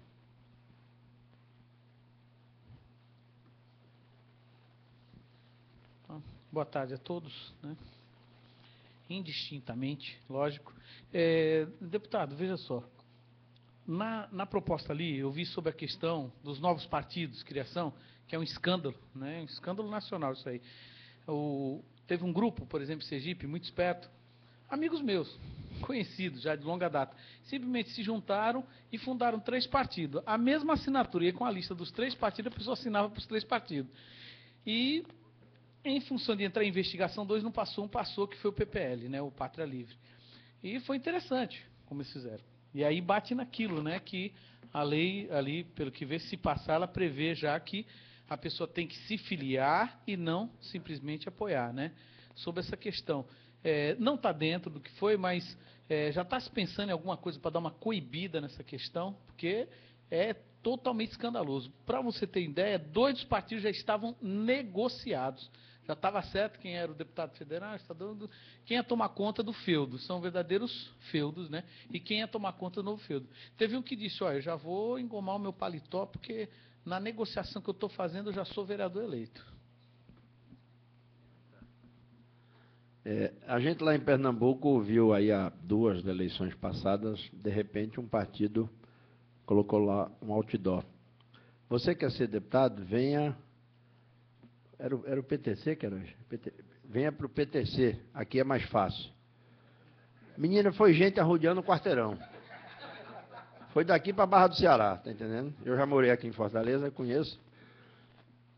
Do mesmo jeito que tem empresário que monta empresa fantasma, escritório de advocacia para lavar dinheiro, do mesmo jeito que tem empreiteira que negocia contrato, é fazer o quê? Né? Hoje eu acho mais difícil, porque o, o, o, Ministério Público Eleitoral, depois da Constituição de 88, as novas funções, o papel investigatório da imprensa, eu acho que isso tudo. Né? Se lá em 96, há 15 anos, a gente mandou um lote de 1.260 fichas do PT para o Instituto de Polícia Técnica e deu certo, eu acho que a gente pode coibir isso. Agora, é, ainda vamos conviver muito com isso. Né? Gente que despacha quadros para inúmeros desses partidos pequenos. Né? É, você veja que nós tínhamos no Congresso até um dia desses, partido que tinha líder e só tinha um deputado. E esse partido que tinha líder e só tinha um ou dois deputados, numa reunião de líderes, colocava o dedo na ferida e não deixava um projeto de lei entrar em pauta. Será que isso é razoável? Né? Um partido que só tem um deputado ou dois, tem um líder que, por essa representação, impede a que vá para a pauta de discussão e votação. É não deixar entrar em pauta, nem para ser discutido e votado um projeto de lei, muitas vezes que é amplamente esperado, ansiado pela sociedade. Então, como é que nós vamos fazer para evitar essas fraudes? Eu acho que uma maior vigilância dos partidos sérios, com essa multiplicação de partidos. Por que, que muita gente defende o fim das coligações? Porque em muitos lugares as coligações viraram um balcão de negócio, né? É briga de galo, quer dizer, dá tanto, paga tanto, entra tanto, faz isso. Tem gente que virou especialista em fazer lista, né? Tem, tem as piabas, que tem mil, mil e quinhentos votos, tem os bagrinhos, que tem dois mil, três mil votos, tem os camorim ovado, que tem mais não sei quanto, não sei quanto. Isso é linguagem. É linguagem de um colega nosso lá, que é deputado federal. Né? O camorim ovado deve ter 10 mil votos. Então o cara monta uma chapa dessa, e ele, presidente do partido, bota o nome dele na cabeça da lista, é o besta. Né? E como é que nós vamos fazer? Eu acho que é ter mais autocuidado, porque é, é, são essas práticas degenerativas que terminam contaminando, porque isso cai na boca do Arnaldo Jabor, na CBN, isso cai na boca de um cientista político desses que esculhamba todo mundo, de um jornalista que mete o pau em todo mundo, isso atinge todos os partidos. Então, a gente tem que cuidar da nossa casa, tem que estar olhando para a casa do vizinho e não abrir mão, em certos momentos, de preservar aquilo que é patrimônio para nós a política de forma ética, de forma democrática, transparente, participativa. Acho que isso é fundamental. Essa situação lá não é patrimônio seu, não, viu? É patrimônio hoje.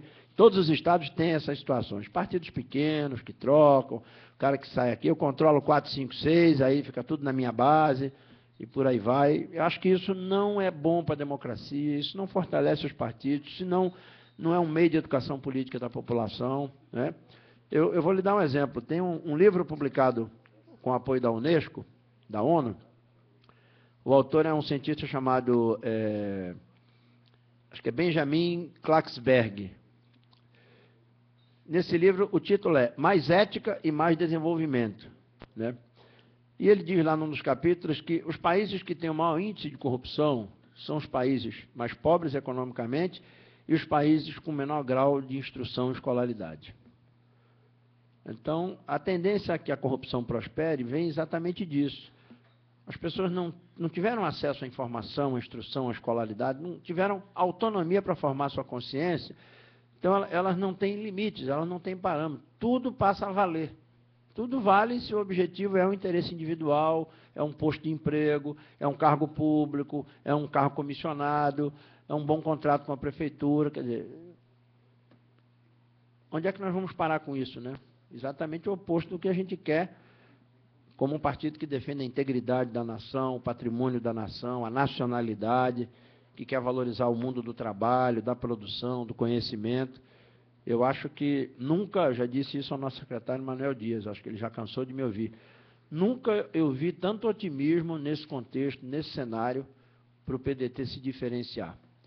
É gente torando cabeça de ministro, é ministro envolvido com safadeza, é não sei o quê. E o PDT querendo discutir as suas teses, o PDT querendo lançar candidatos, o PDT querendo discutir a nacionalidade, a economia, a juventude, as questões de gênero. Né? Isso é que vai nos diferenciar. Sair dessa agenda que está todo mundo metido nela por interesses imediatistas e disputar o nosso espaço, ocupar o nosso espaço no governo, nas coligações, com altivez, mas com propositura.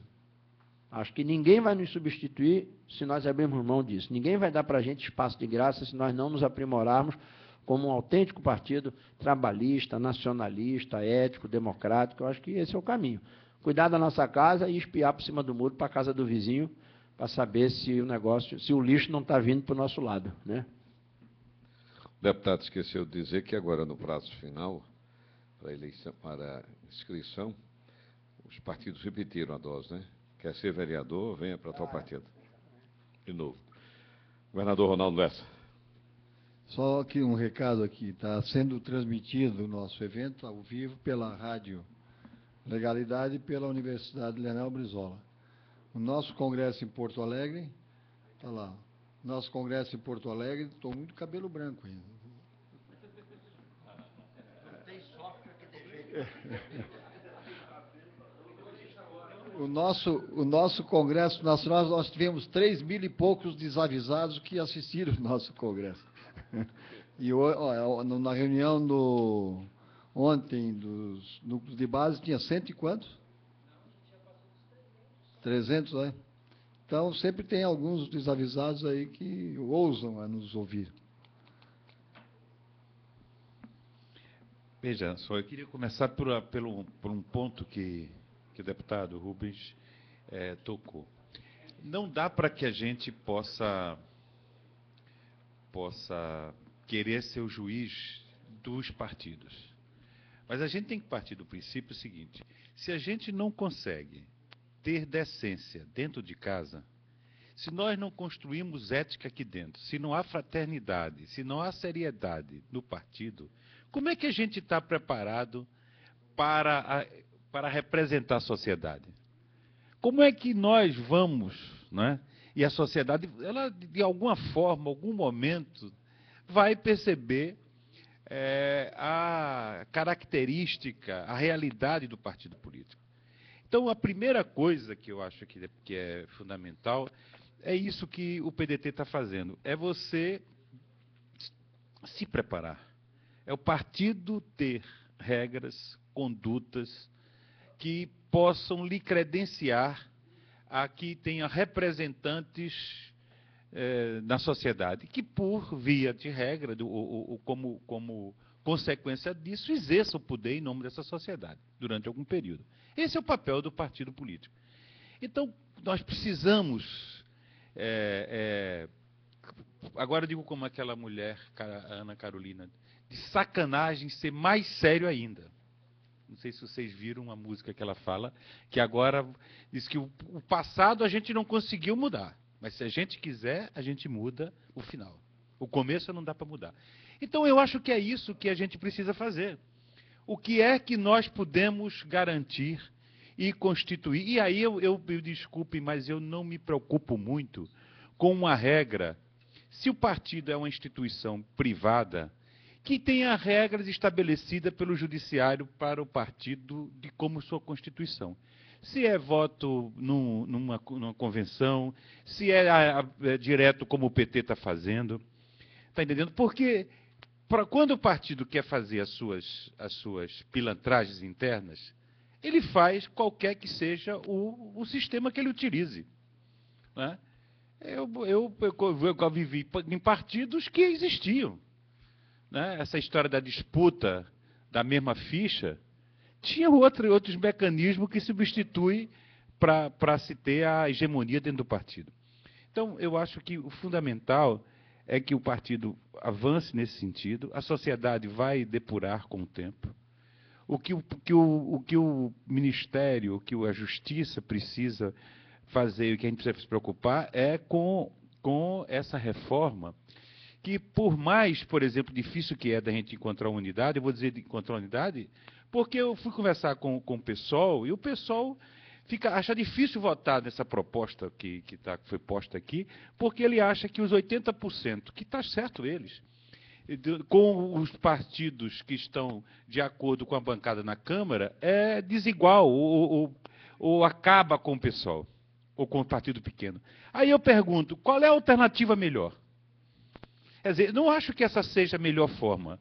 80% distribuído igualmente pelas cadeiras que se tem. Acho que é injusto, injusto mas, mas o financiamento público não é um grande avanço?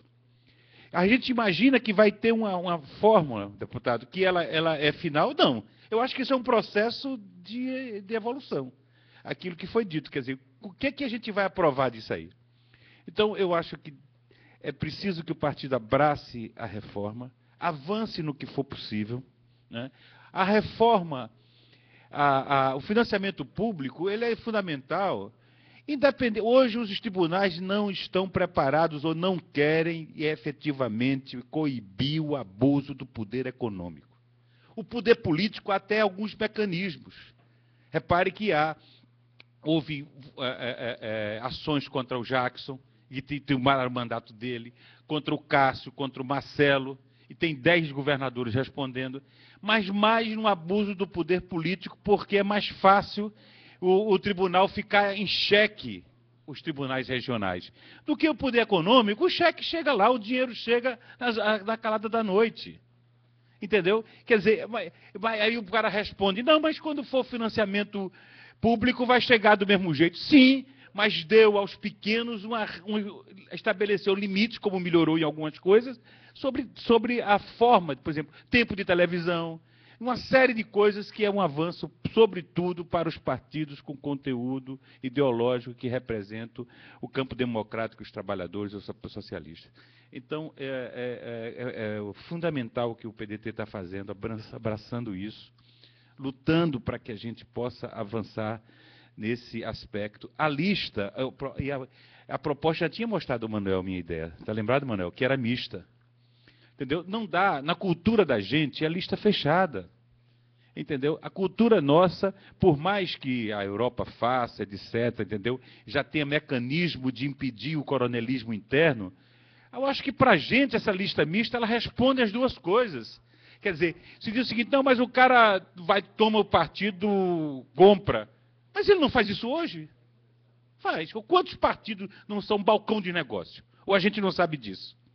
Aqui que foi feita essa experiência, em todos os lugares, qual um que for dar depoimento aqui vai dizer, tal município é assim, entre em tal partido que é mais fácil, porque a coeficiente vai ser tanto, você, você se elege com mais facilidade, quer dizer, já existe.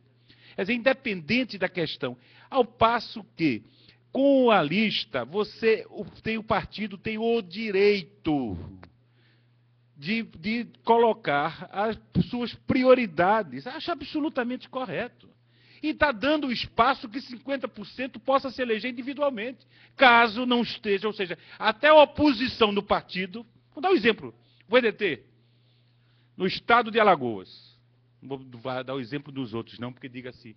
Mas em qualquer estado, podia ser o Rio de Janeiro, etc. Então, a gente prevalece os meus compadres na presidência, na, na, na frente da lista, já que eu sou o presidente. Tudo bem, o cara que está na oposição, ele entra, tem condições, vai ser votado e entra do outro critério. Acabou-se. Não houve a, a, o cerceamento, né? O, a, porque o, a, democracia prevaleceu, a vontade do eleitor prevaleceu. Então, é outra coisa dessa proposta que eu queria me associar e dizer que acho que é um avanço grande que a gente dá porque não vamos fazer. Eu acho que a gente não faz. É uma questão pedagógica. A gente não vai, não vai valorizar partidos, não vai ter partido forte, se o partido não tiver é, força, se ele não tiver, se o mandato não for dele, se ele não tiver o direito de estabelecer um critério de lista, alguma coisa. Se não é brincadeira, continua sendo como é no Brasil. Entendeu? É um negócio. O partido que não é negócio é o partido que, por convicção, é o Partido Comunista, o Partido PDT por suas convicções, etc, etc, entendeu? E, mas e, e sobrevivendo às duras penas, porque a tentativa de nego entrar para mudar aqui dentro, porque aproveita que tem uma história boa, mas se ela puder aqui dentro vir e mudar isso, muda. Se aqui não tiver eh, uma militância para fortalecer os princípios e garantir entendeu? A, a, nosso compromisso com o trabalhismo, com a história, deputado Rubens Santiago, você sabe que daqui a pouco a, não vai faltar freguês para comprar também um PDT. Não falta. Porque cada vez mais as corporações estão maiores e aquilo que foi feito é, é agora o dos bancos. É dos bancos financiando em todo canto. Então, eu, eu, eu quero me associar, dizer que a gente deve continuar discutindo e lutando para avançar. E olha, é um princípio só, porque depois essa reforma, ela não se extingue na gente. A gente só vai ter as coisas mais é, consolidadas quando essa reforma ampliar, judiciário, etc, etc, etc. Porque a gente também, a gente até da esquerda mesmo, entrou no moralismo filho da mãe em determinado momento, sem, sem, sem ver as consequências, e começou a criar a lei do nepotismo, não é verdade? Não fomos nós, fomos, foi esquerdinha, fomos nós, que estabeleceu. Pois bem, sabe o que eles fazem agora? O nepotismo cruzado. Se era o nepotismo dentro do poder, virou agora promiscuidade múltipla entre os três poderes. Está entendendo? E não inventou nada. Quer dizer, é, é claro que valeu a pena. Ah, foi boa vontade. Por exemplo, a questão da, da ficha limpa. A ideia foi boa, mas se a gente não, não trabalhar ela com, com o pé no chão, ela termina escapando na mão e não tendo o efeito que a gente precisa. Então, até a questão do, do nepotismo, é preciso hoje que haja alguns mecanismos capazes de impedir esse drible que está sendo dado. Hoje, a promiscuidade que existe entre os poderes para driblar a questão do, do, do, do nepotismo. Bom, era, era isso e dizer que, que parabenizar a apresentação que foi feita e, e, e o próprio PDT, Manel, com essa, essa, essa, esse encontro Nordeste. Pouca representação, acho, até Lagoas mesmo, houve problema, não tem aqui etc, não está aqui Corinto, não está aqui Paulinho, três deputados da gente não vieram, o nosso ex-deputado, que é uma figura é, que, que é, considero talvez uma das melhores cabeças da gente lá, que é o, o Jurandir Boia, mas o Jurandir foi um problema de família que não veio, mas a gente ainda não consegue é, sensibilizar nossa, nosso pessoal, mesmo os que têm mandato, no sentido de participar dos debates internos, isso como um instrumento de mudança. É uma pena, eu estou dizendo isso para não criticar os outros, estou começando a criticar a minha casa, que a gente tem muito o que fazer lá. O deputado quer fazer algum comentário? Não, só dizer que eu concordo plenamente com o governador Lessa, quando ele nos alerta para a questão da reforma do judiciário. Eu estive na terça-feira, às oito da manhã, na presidência do STJ, levando ao ministro Ari Pagendler a relação dos projetos que nós estamos trabalhando na Câmara dos Deputados na agenda de combate à corrupção. E muitos projetos mexem com a estrutura do Poder Judiciário. O próprio ministro, tomando emprestada a iniciativa do deputado Luiz Couto, do PT da Paraíba, que propõe, já na primeira instância da Justiça Estadual, varas especializadas em combate à improbidade, o ministro nos questionou se já havia um projeto para a Justiça Federal, em primeira instância, também ter varas especializadas de combate à improbidade. E nós percebemos que os atuais critérios que pautam a indicação de nomes para os tribunais superiores, desculpem, é, fazem com que os tribunais, em especial o STJ, né, Igor, fazem com que os tribunais é, sejam muito permeáveis às ingerências políticas.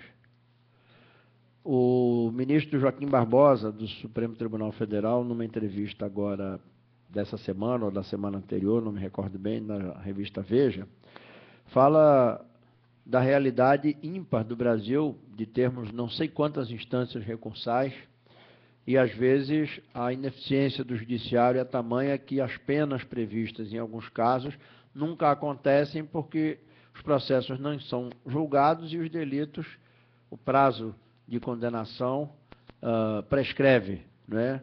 até o julgamento final. Então, muita gente vê na ineficiência do judiciário e na, e na, na impunidade o alimento para continuar praticando toda a sorte de crimes ou para continuar tendo uma, uma ingerência bastante pesada sobre o judiciário.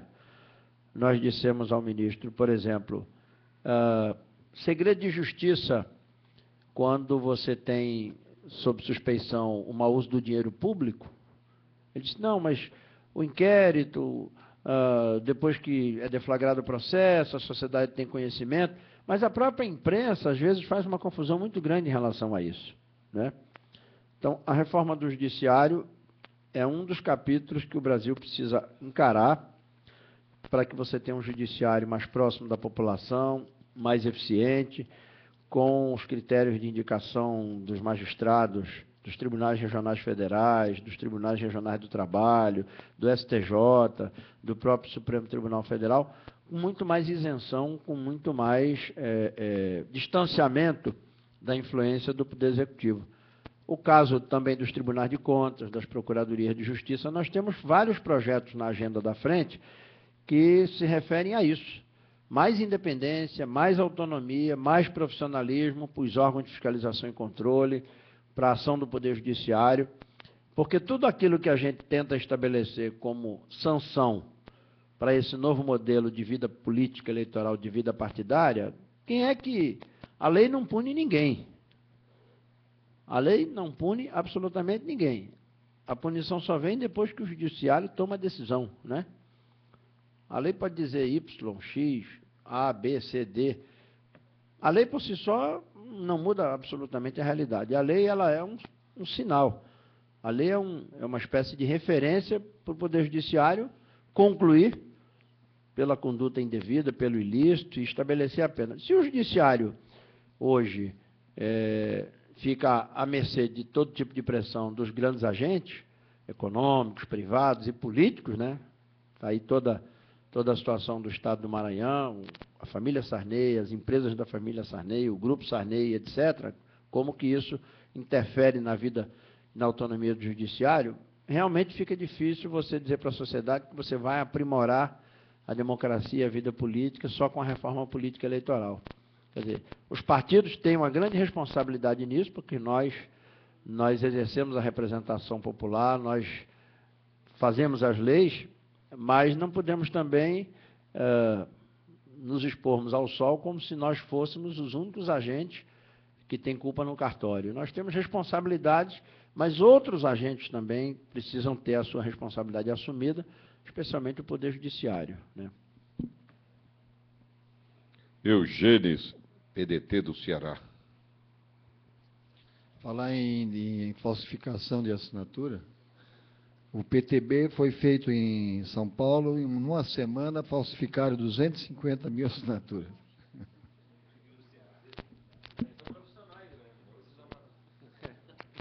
Pessoal, boa tarde. É, eu queria trazer uma pauta aqui que não foi colocada aqui na proposta, a questão da unificação das eleições municipais, também com as eleições nacionais, né? Porque nós perdemos muito tempo isso serve para nós também de partido e planejamento. Nós saímos de uma campanha, passamos, descansamos seis meses e já começamos a pensar na próxima campanha. Né? Ou seja, nós também não temos tempo de autoplanejar nossas gestões municipais, nossas gestões estaduais, nossas gestões nacionais. Está tá dando orientação e um basamento maior para os nossos vereadores, deputados, que a gente possa, o que nós defendemos nas nossas bandeiras sobre trabalhismo, passar por nossos vereadores, passar por nossos deputados estadual e federal, que façam legislações, leis municipais, estaduais e federais, que venham proteger o trabalhador, que venham proteger a família, a questão da juventude. Porque nós não conseguimos parar para pensar nesse tipo de legislação. E quando depois vem a bomba, aí todo mundo se reúne, porque vai ser votado na próxima semana, e o que vamos fazer? Ou seja, nós também não sabemos o que fazemos, muitas vezes na aprovação de uma lei, de uma legislação. Né? E outra, o outro fato que eu queria colocar aqui é a questão do voto em lista. Nossa democracia ainda é muito curta. Né? E o voto em lista, nesse momento, você fazer uma, lista dupla, ao meu ver, é meio complicado, porque a eleições no nosso país é personificada. 70% da população vota na pessoa. Ela não sabe se está votando em Ciclano ou Beltrano, ela vota na pessoa. Vota no Eugênis porque conheceu o Eugênis. Ah, eu vou votar no Eugênis porque foi meu colega de faculdade, porque é meu vizinho, porque é meu colega de trabalho. Fulano de para eu votar Eugênis. Né? Por exemplo. E, a população, a massa, muitas vezes não defende, não consegue saber o que, é, o, que o partido de Eugênis defende. Se nós estamos querendo trazer a população para o partido, para que possa conhecer um dos votos, eu acho que a reforma política tem de dois, dois passos. Eu concordo no financiamento de campanha, lógico, é fundamental porque nós, no partido, também somos pequenos. Dentro do partido, nós temos essa distorção financeira entre os candidatos. Tem uns candidatos do nosso partido que têm uma condição financeira melhor. E outros não. Que só é a sola do sapato, a cara de pau está batendo na porta, na porta do povo pedindo o voto dele. E outros não, já tem uma estrutura melhor e vai conseguindo. Mas a verdade é essa. E muitos querem se candidatar, mas não pode. Aí eu lá vou me candidatar, eu tenho vontade ajudar meu partido para conseguir mais votos de legenda, mas não vou me candidatar, porque o partido não tem dinheiro para me ajudar, e eu também não tenho dinheiro para colocar na minha campanha. Eu vou botar só meu nome por colocar, como é que eu vou conseguir voto? Então o financiamento é muito importante. E essa questão da lista, eu acho que é um segundo momento. Segundo momento como? Que nós iniciamos essa reforma política, fim das coligações, fundamental para que a população, em modo geral, consiga definir quem é o PDT, quem é o PT, quem é o PCdoB, PSDB, e ver quais são as linhas ideológicas, e nós temos um, um planejamento a longo prazo. Informando para a população que nas eleições daqui a 4, 8 anos, as eleições não serão mais personificadas na pessoa, será no partido. Aí você consegue trazer, porque quem está dentro do partido, que vai se eleger na lista, vai trazer seus filiados, vai trazer seu amigo para se filiar no partido cara, vamos lá entrar no partido, porque eu vou, eu quero me candidatar a vereador, e quando chegar na convenção, eu vou precisar de voto para ser, ser colocado meu nome na lista. De repente o partido pode definir, não, nós vamos lançar a lista, só vai, ter, só vai ter 40 nomes nessa lista, de repente tem 80 para disputar, vai ter chave, vai ter disputa interna. Mas vai para o voto, ou indicação, ou força política interna no partido. Então, ao meu ver, isso é um segundo momento, na reforma, que seja aprovada nessa reforma, que seja de a longo prazo, que seja em dois momentos. E que continue as eleições de estar sem coliga, com o fim das, das coligações, e um segundo momento que a gente possa passar isso para a população através de cartilhas, através de campanhas nacionais, para que a população entenda que o processo de democracia brasileira está mudando que são as ideologias e os pensamentos partidários e não o interesse de A e B e C. Obrigado.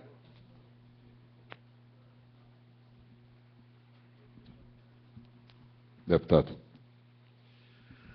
Bom, é, não depende só de nós, né?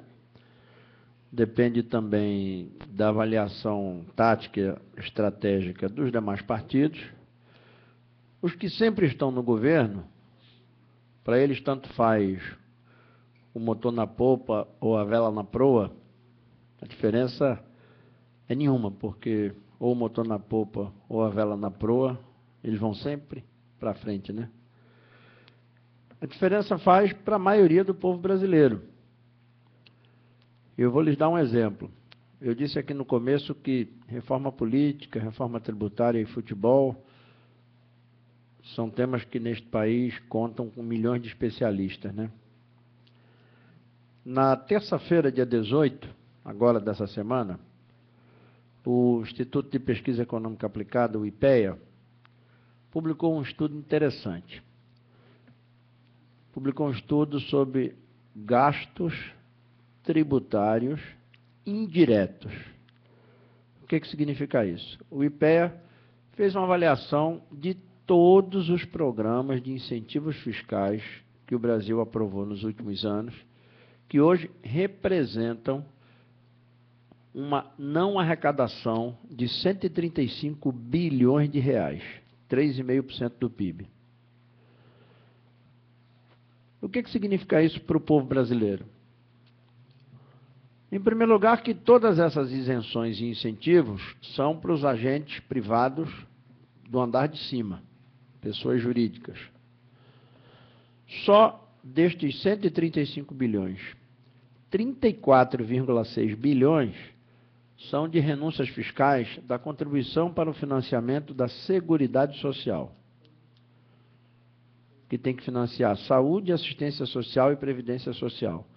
O Brasil deixa de cobrar imposto, contribuição para a Seguridade Social, até na produção de jatinhos e lanchas dos iates, os grandes barcos da classe média alta, dos mais ricos. Deixa de cobrar imposto que ia para a saúde, para a previdência e para a assistência social. Por que é que estas renúncias são aprovadas ou até são enlarguecidas na Câmara dos Deputados e no Senado? Pela representação que os empresários têm na definição dos seus interesses. Você veja que o governo agora criou um fundo de incentivo às exportações e o relator incluiu neste fundo as chamadas pequenas empresas produtoras de café. Tudo bem. Mas a gente vive fazendo todo dia mini e micros reformas tributárias para atender aos diferentes grupos do andar de cima. Mas a gente não faz a reforma tributária para regulamentar o imposto sobre grandes fortunas, está previsto na Constituição Federal. A gente não muda o sistema tributário, que é mais pesado, sobre o consumo das famílias e sobre a renda dos trabalhadores assalariados. Quem ganha no Brasil até dois salários mínimos perde 56% da renda com impostos. Quem ganha acima de 30 mil reais só consome 26% da renda com pagamento de impostos. Então, não depende só de nós. Por quê? Porque aqueles que hoje estão controlando a maior parte do Congresso, da Câmara e do Senado, que foram financiados pelas atuais regras eleitorais e de financiamento, estão lá para isso para fazer um país para eles eles até aceitam políticas sociais de distribuição de renda, mas eles querem continuar tendo a maior participação na divisão do bolo. Né? Veja agora os leilões dos aeroportos de Viracopos, Guarulhos e de Brasília pelo governo da presidenta Dilma. Primeira pergunta: qual era a proposta inicial? Era o osso e o filé. Para disputar o leilão de um aeroporto de alta rentabilidade, tinha que levar como contrapeso um aeroporto médio ou pequeno, deficitário, nessas cidades menores aí do norte, nordeste, centro-oeste. As empresas disseram: ah, ah, osso não, nós queremos o filé. Segunda descoberta que nós fizemos: a Infraero tem um orçamento de investimento. Não se executou nem 30% do orçamento de investimento previsto para a Infraero. Então você não faz investimento, você, você deixa sucatear. Aí em duas semanas você coloca na Globo, no SBT, na Rede TV, na Record, o povo revoltado nos aeroportos, então privatiza isso tudinho. Na hora que for para mudar as regras, a maior parte dos deputados e senadores vão aprovar esse tipo de mudança, porque interessa aos grupos econômicos. Então, nós temos um papel muito importante. Se nós hoje somos aqui, neste plenário, a esta hora, em plena sexta-feira, 100 pessoas, 80 pessoas, mas nós podemos multiplicar pela internet, pela universidade, pela fundação, para mais milhares e milhares de pessoas. Eu acho que isso é que vai fazer com que a gente possa conversar com mais pessoas. Eu cada dia mais me impressiono com o impacto das redes sociais. Eu tenho pautado no Facebook notícias, informações, parte do meu trabalho. E não há um dia em que algumas dessas notícias eu não receba de volta 40 comentários, 50 comentários, 60 comentários. Quando, há 30 anos, nós que tínhamos mandatos, podíamos ter esse meio de nos comunicarmos de imediato com as pessoas. Ontem eu estava até 4h40 da manhã, na sessão de discussão da DRU, com o meu computador aqui ligado no Facebook e dizia para as pessoas: ah, liga a TV Câmara, nós estamos ao vivo. Em dois minutos a pessoa dizia: liguei, estou te vendo, estou vendo até a tua careca aqui atrás da cabeça. Então isso é uma coisa impressionante. Nós estamos no caminho certo. É multiplicar as informações, é escolher os bons argumentos. Né? Tem gente melhor do que eu que pode defender financiamento público de campanha com um argumento demolidor. Tem gente que pode defender a reforma do judiciário, como disse o governador Lessa, de uma maneira muito melhor do que todos nós. É a gente escolher os grandes argumentos em torno das grandes teses e fazer com que a sociedade pressione o Congresso. Porque o Congresso é igual amortecedor, só funciona sob pressão. Então, eu, sou extremamente otimista com essa conjuntura, extremamente otimista com essas ferramentas para que a gente construa as nossas teses, propague as nossas ideias e saber identificar na sociedade quem vai nos renovar. Dizia Luiz Gonzaga, para cavalo velho, o remédio é capim novo. Então, nós estamos envelhecendo, nós não estamos perdendo o sonho, o desejo, mas nós estamos chegando em outros momentos das nossas vidas. Eu não sou mais o professor de 24 anos que fez uma greve de 34 dias em 1979. Então nós precisamos nos aproximarmos das novas gerações, dos universitários, dos militantes culturais, dos artistas, dos escritores, de muitos desses que na ditadura ficaram aqui no Brasil compondo, tocando, um Chico Buarque, um Gonzaguinha, um Ivan Lins, um Milton Nascimento, incomodaram para burro a ditadura. Porque eles eram mestres em incomodar sem dar à ditadura o argumento direto da subversão, do comunismo, etc, etc, etc. Então, eu, eu fui ao Congresso da Uni, por uma articulação da juventude do PDT, o companheiro Vicente, que estava na direção da Uni, aluno da UFMG, e fiquei muito empolgado, disse isso a Manuel. Fiquei muito empolgado porque eu saí de uma mesa de debate, depois eu fui para uma praça com megafone e tudo, Zé Queiroz. Parecia aquelas coisas dos anos 70, 80, falando lá, Túlio estava lá, testemunha, falamos para mais de 100 jovens da juventude do PDT nas universidades. Eu acho que esse é o caminho. Tem um espaço aberto enorme para a gente crescer nessa direção, mobilizar essa juventude, colocar o partido no campo da cultura, mobilizar essa intelectualidade. A gente está fazendo um esforço para abrir mais o debate do PDT com os economistas eh, de esquerda que nós temos no país. Trouxemos alguns lá para os debates que fizemos na Câmara. Acho que tem um campo muito grande para isso. Agora, não depende só de nós. Provavelmente a gente vai fazer um grande esforço para avançar e um terço dos demais partidos vai fazer um grande esforço para retroceder. E aí é nessa movimentação da maré alta e maré baixa que nós vamos ver qual a maré que vai prevalecer. Né? Mas eu sou muito otimista e acho que a gente precisa avançar nessa, nessa direção. Né? Eu esqueci de registrar o cavalheirismo de Manuel Dias, que foi ali ao cafezinho, serviu a mesa cafezinho, né? Muito obrigado, Manuel. Gesto. Eu não sei se está atrás de algum voto aqui, viu? Tadeu Reis, do Ceará.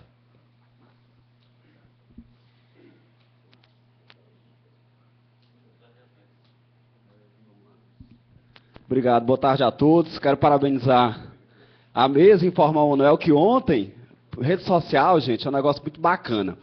Porque ontem eu estava no Facebook, o Jos Bertini compartilhou o link da Universidade Leonel Brizola, das reuniões dos secretários do núcleos de base que estava acontecendo e eu não sabia. Que para mim começava o evento à noite. Na hora, eu compartilhei na rede social e comecei a assistir online. Flávio, quando eu comecei a assistir, ilustre senador, o Eugênio já na hora pegou e curtiu o link. Eu disse, caramba! Então, assim, eu assisti todo o fórum, vem a intervenção de Eugênio, a intervenção de Osbertini, a importância de organizar o núcleo de base, sou filiado ao partido já tem um pouco mais de três anos, e, e o que eu acho bacana, vou pegar o, o é reforma política, e, e, vou me abster aqui, se vocês me permitem, a sair desse debate jurídico, que a gente fala sobre financiamento de campanha, a gente fala sobre a questão da proporcionalidade, da lista fechada, da lista aberta, da lista. Mas a gente não fala da questão da, da, da ideologia do que é reforma política. Sabe? Do, do, que é reforma política. E aqui eu vejo a grande contradição, e eu não sei como é que está o PDT nos outros estados. Aqui eu sinto, e posso até falar a nível nacional, que está faltando uma sintonia. Está faltando sintonia. A gente teve uma greve dos professores no estado do Ceará. Eu não vi o PDT do meu estado, que muito me orgulho, e a gente tem uma presidência veemente, trabalhadora, aguerrida, mas eu não vi uma nota oficial do PDT. Eu não vi uma nota oficial do PDT que tem como uma das suas bandeiras o, o educacionismo, que as bandeiras do partido acabam sendo uma extensão da alma, acaba sendo uma extensão da dimensão do modo de a gente pensar. Então, eu acho um pouco contraditório. Sabe? Fica aqui uma reflexão. Não sou doutor da lei. Uma absorção da Jaqueline Roriz. Qual foi o posicionamento, qual foi a nota? Teve alguma nota oficial do PDT a nível nacional? Então, assim, é, eu me abstenho em face essa reflexão e coloco para que a gente não possa ficar dentro de um, de, uma, de um debate maravilhoso que está tendo, mas num campo das ideias completamente divergente das práticas. Nas, nós temos na Assembleia Legislativa do Estado um PDT do Estado de Ceará que ele não vota igual. Ele não vota igual. Como é que, como é, que é isso em Pernambuco, deputado? Como, como é que é no Amapá? Como é que é na Alagoas? Sabe que a gente está se preocupando aqui dentro do campo jurídico, que é importantíssimo, mas questões que é o dever de casa, que é pequeno, como há mais de três anos estou no partido, eu não vejo a questão da organização do núcleo de base. A gente sabe que é importante, a gente sabe que o núcleo de base, ele, ele é a porta, é o convite. Ele é o convite para a cidadania. Eu sou presidente do centro acadêmico da, da, do direito da FONO, Célia, e eu vejo que ali é um núcleo de base. A gente debate as demandas estudantis do corpo discente, da estrutura da faculdade, como a gente pode mudar, como é que a gente pode universalizar o ensino. Então, eu, eu acho que é, a gente tem que começar a sair desse discurso bonito e tentar um pouco a praxis, né? Aí, voltando um pouco para a reforma, eu vejo essa, essa reforma, eu não compacto com a reforma que fortaleça os partidos. A gente vê um processo, processo, processo de, de desenvolvimento do Brasil, vocês sabem tão bem quanto eu, processo de sociologia, ético, social, cultural, que a gente foi formado, 15 anos de ditadura, aristocracia danada. Aí a gente pega, faz uma reforma, onde a gente vai fortalecer os partidos políticos. Quem garante, quem garante que o PDT de hoje, ele vai continuar sendo o PDT daqui a 10, 20, 30, 50 anos, quando chegar no poder? A está a bancarrota do PT, entre aspas, que nós Somos aliados, bancarrota entre aspas, porque a gente sempre utiliza o método da comparação e da metáfora. Se comparar com o governo do PSDB, realmente nós, o PT, cujo nós somos base, está anos-luz. Está anos-luz. Mas eu coloco aqui o fim da obrigatoriedade do voto. Essa reforma, deputado, não fala sobre o fim da obrigatoriedade do voto? A reforma? Eu acho que está na hora de a gente começar a puxar a minha reflexão aqui é a sociedade para tomar parte. É, é, muito conveniente, a gente sempre está criticando ou sempre está deixando o país ser governado por terceiros, enquanto a sociedade não toma, não toma parte. E a questão também dos votos secretos. Tem, tem, acho que tem que extinguir isso. Tem que extinguir essa questão do voto secreto. A gente tem cara, já dizia Darcy Ribeiro. A gente pode ter todas as caras, mas todas vão de ter vergonha em caráter. Então que o PDT assuma isso e realmente a gente possa saber quem votou a favor, quem votou contra. Eu acho que tem que haver uma mudança aí nesse planejamento. É, parabenizar o evento, a todos. Fica mais como uma, uma, questão de reflexão. Que eu acho que é sempre importante a gente estar tá se vendo, né? E, e, esse contrato social selado, na verdade, que me lembra muito Rousseau, e eu tenho muito receio que, às vezes, qualquer partido político, principalmente o meu, o nosso, é, é, caiba para isso. A gente se preocupa muito com ter, com conquistar, com poder, com dominar, e as estratégias, as estratégias, e a gente não, não valoriza o ser.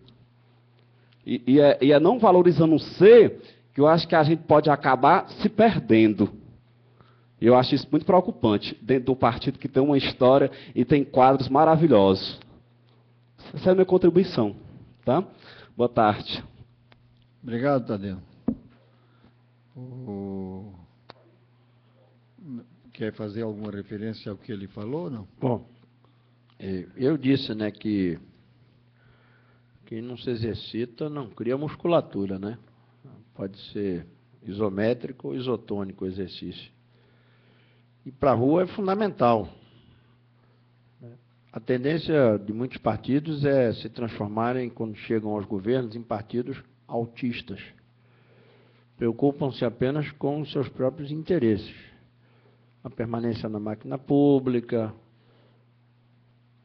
a incorporação das vantagens de ter o poder político, de ter a administração pública, a vaidade humana, enfim, as mudanças de hábitos e por aí vai. Né? Então, é muito importante. E eu, que não sou deputado federal do Ceará, mas sou titular da Comissão de Educação e Cultura, foi minha a proposta de criarmos uma comissão externa para virmos a Fortaleza e para irmos a Belo Horizonte, já que em Minas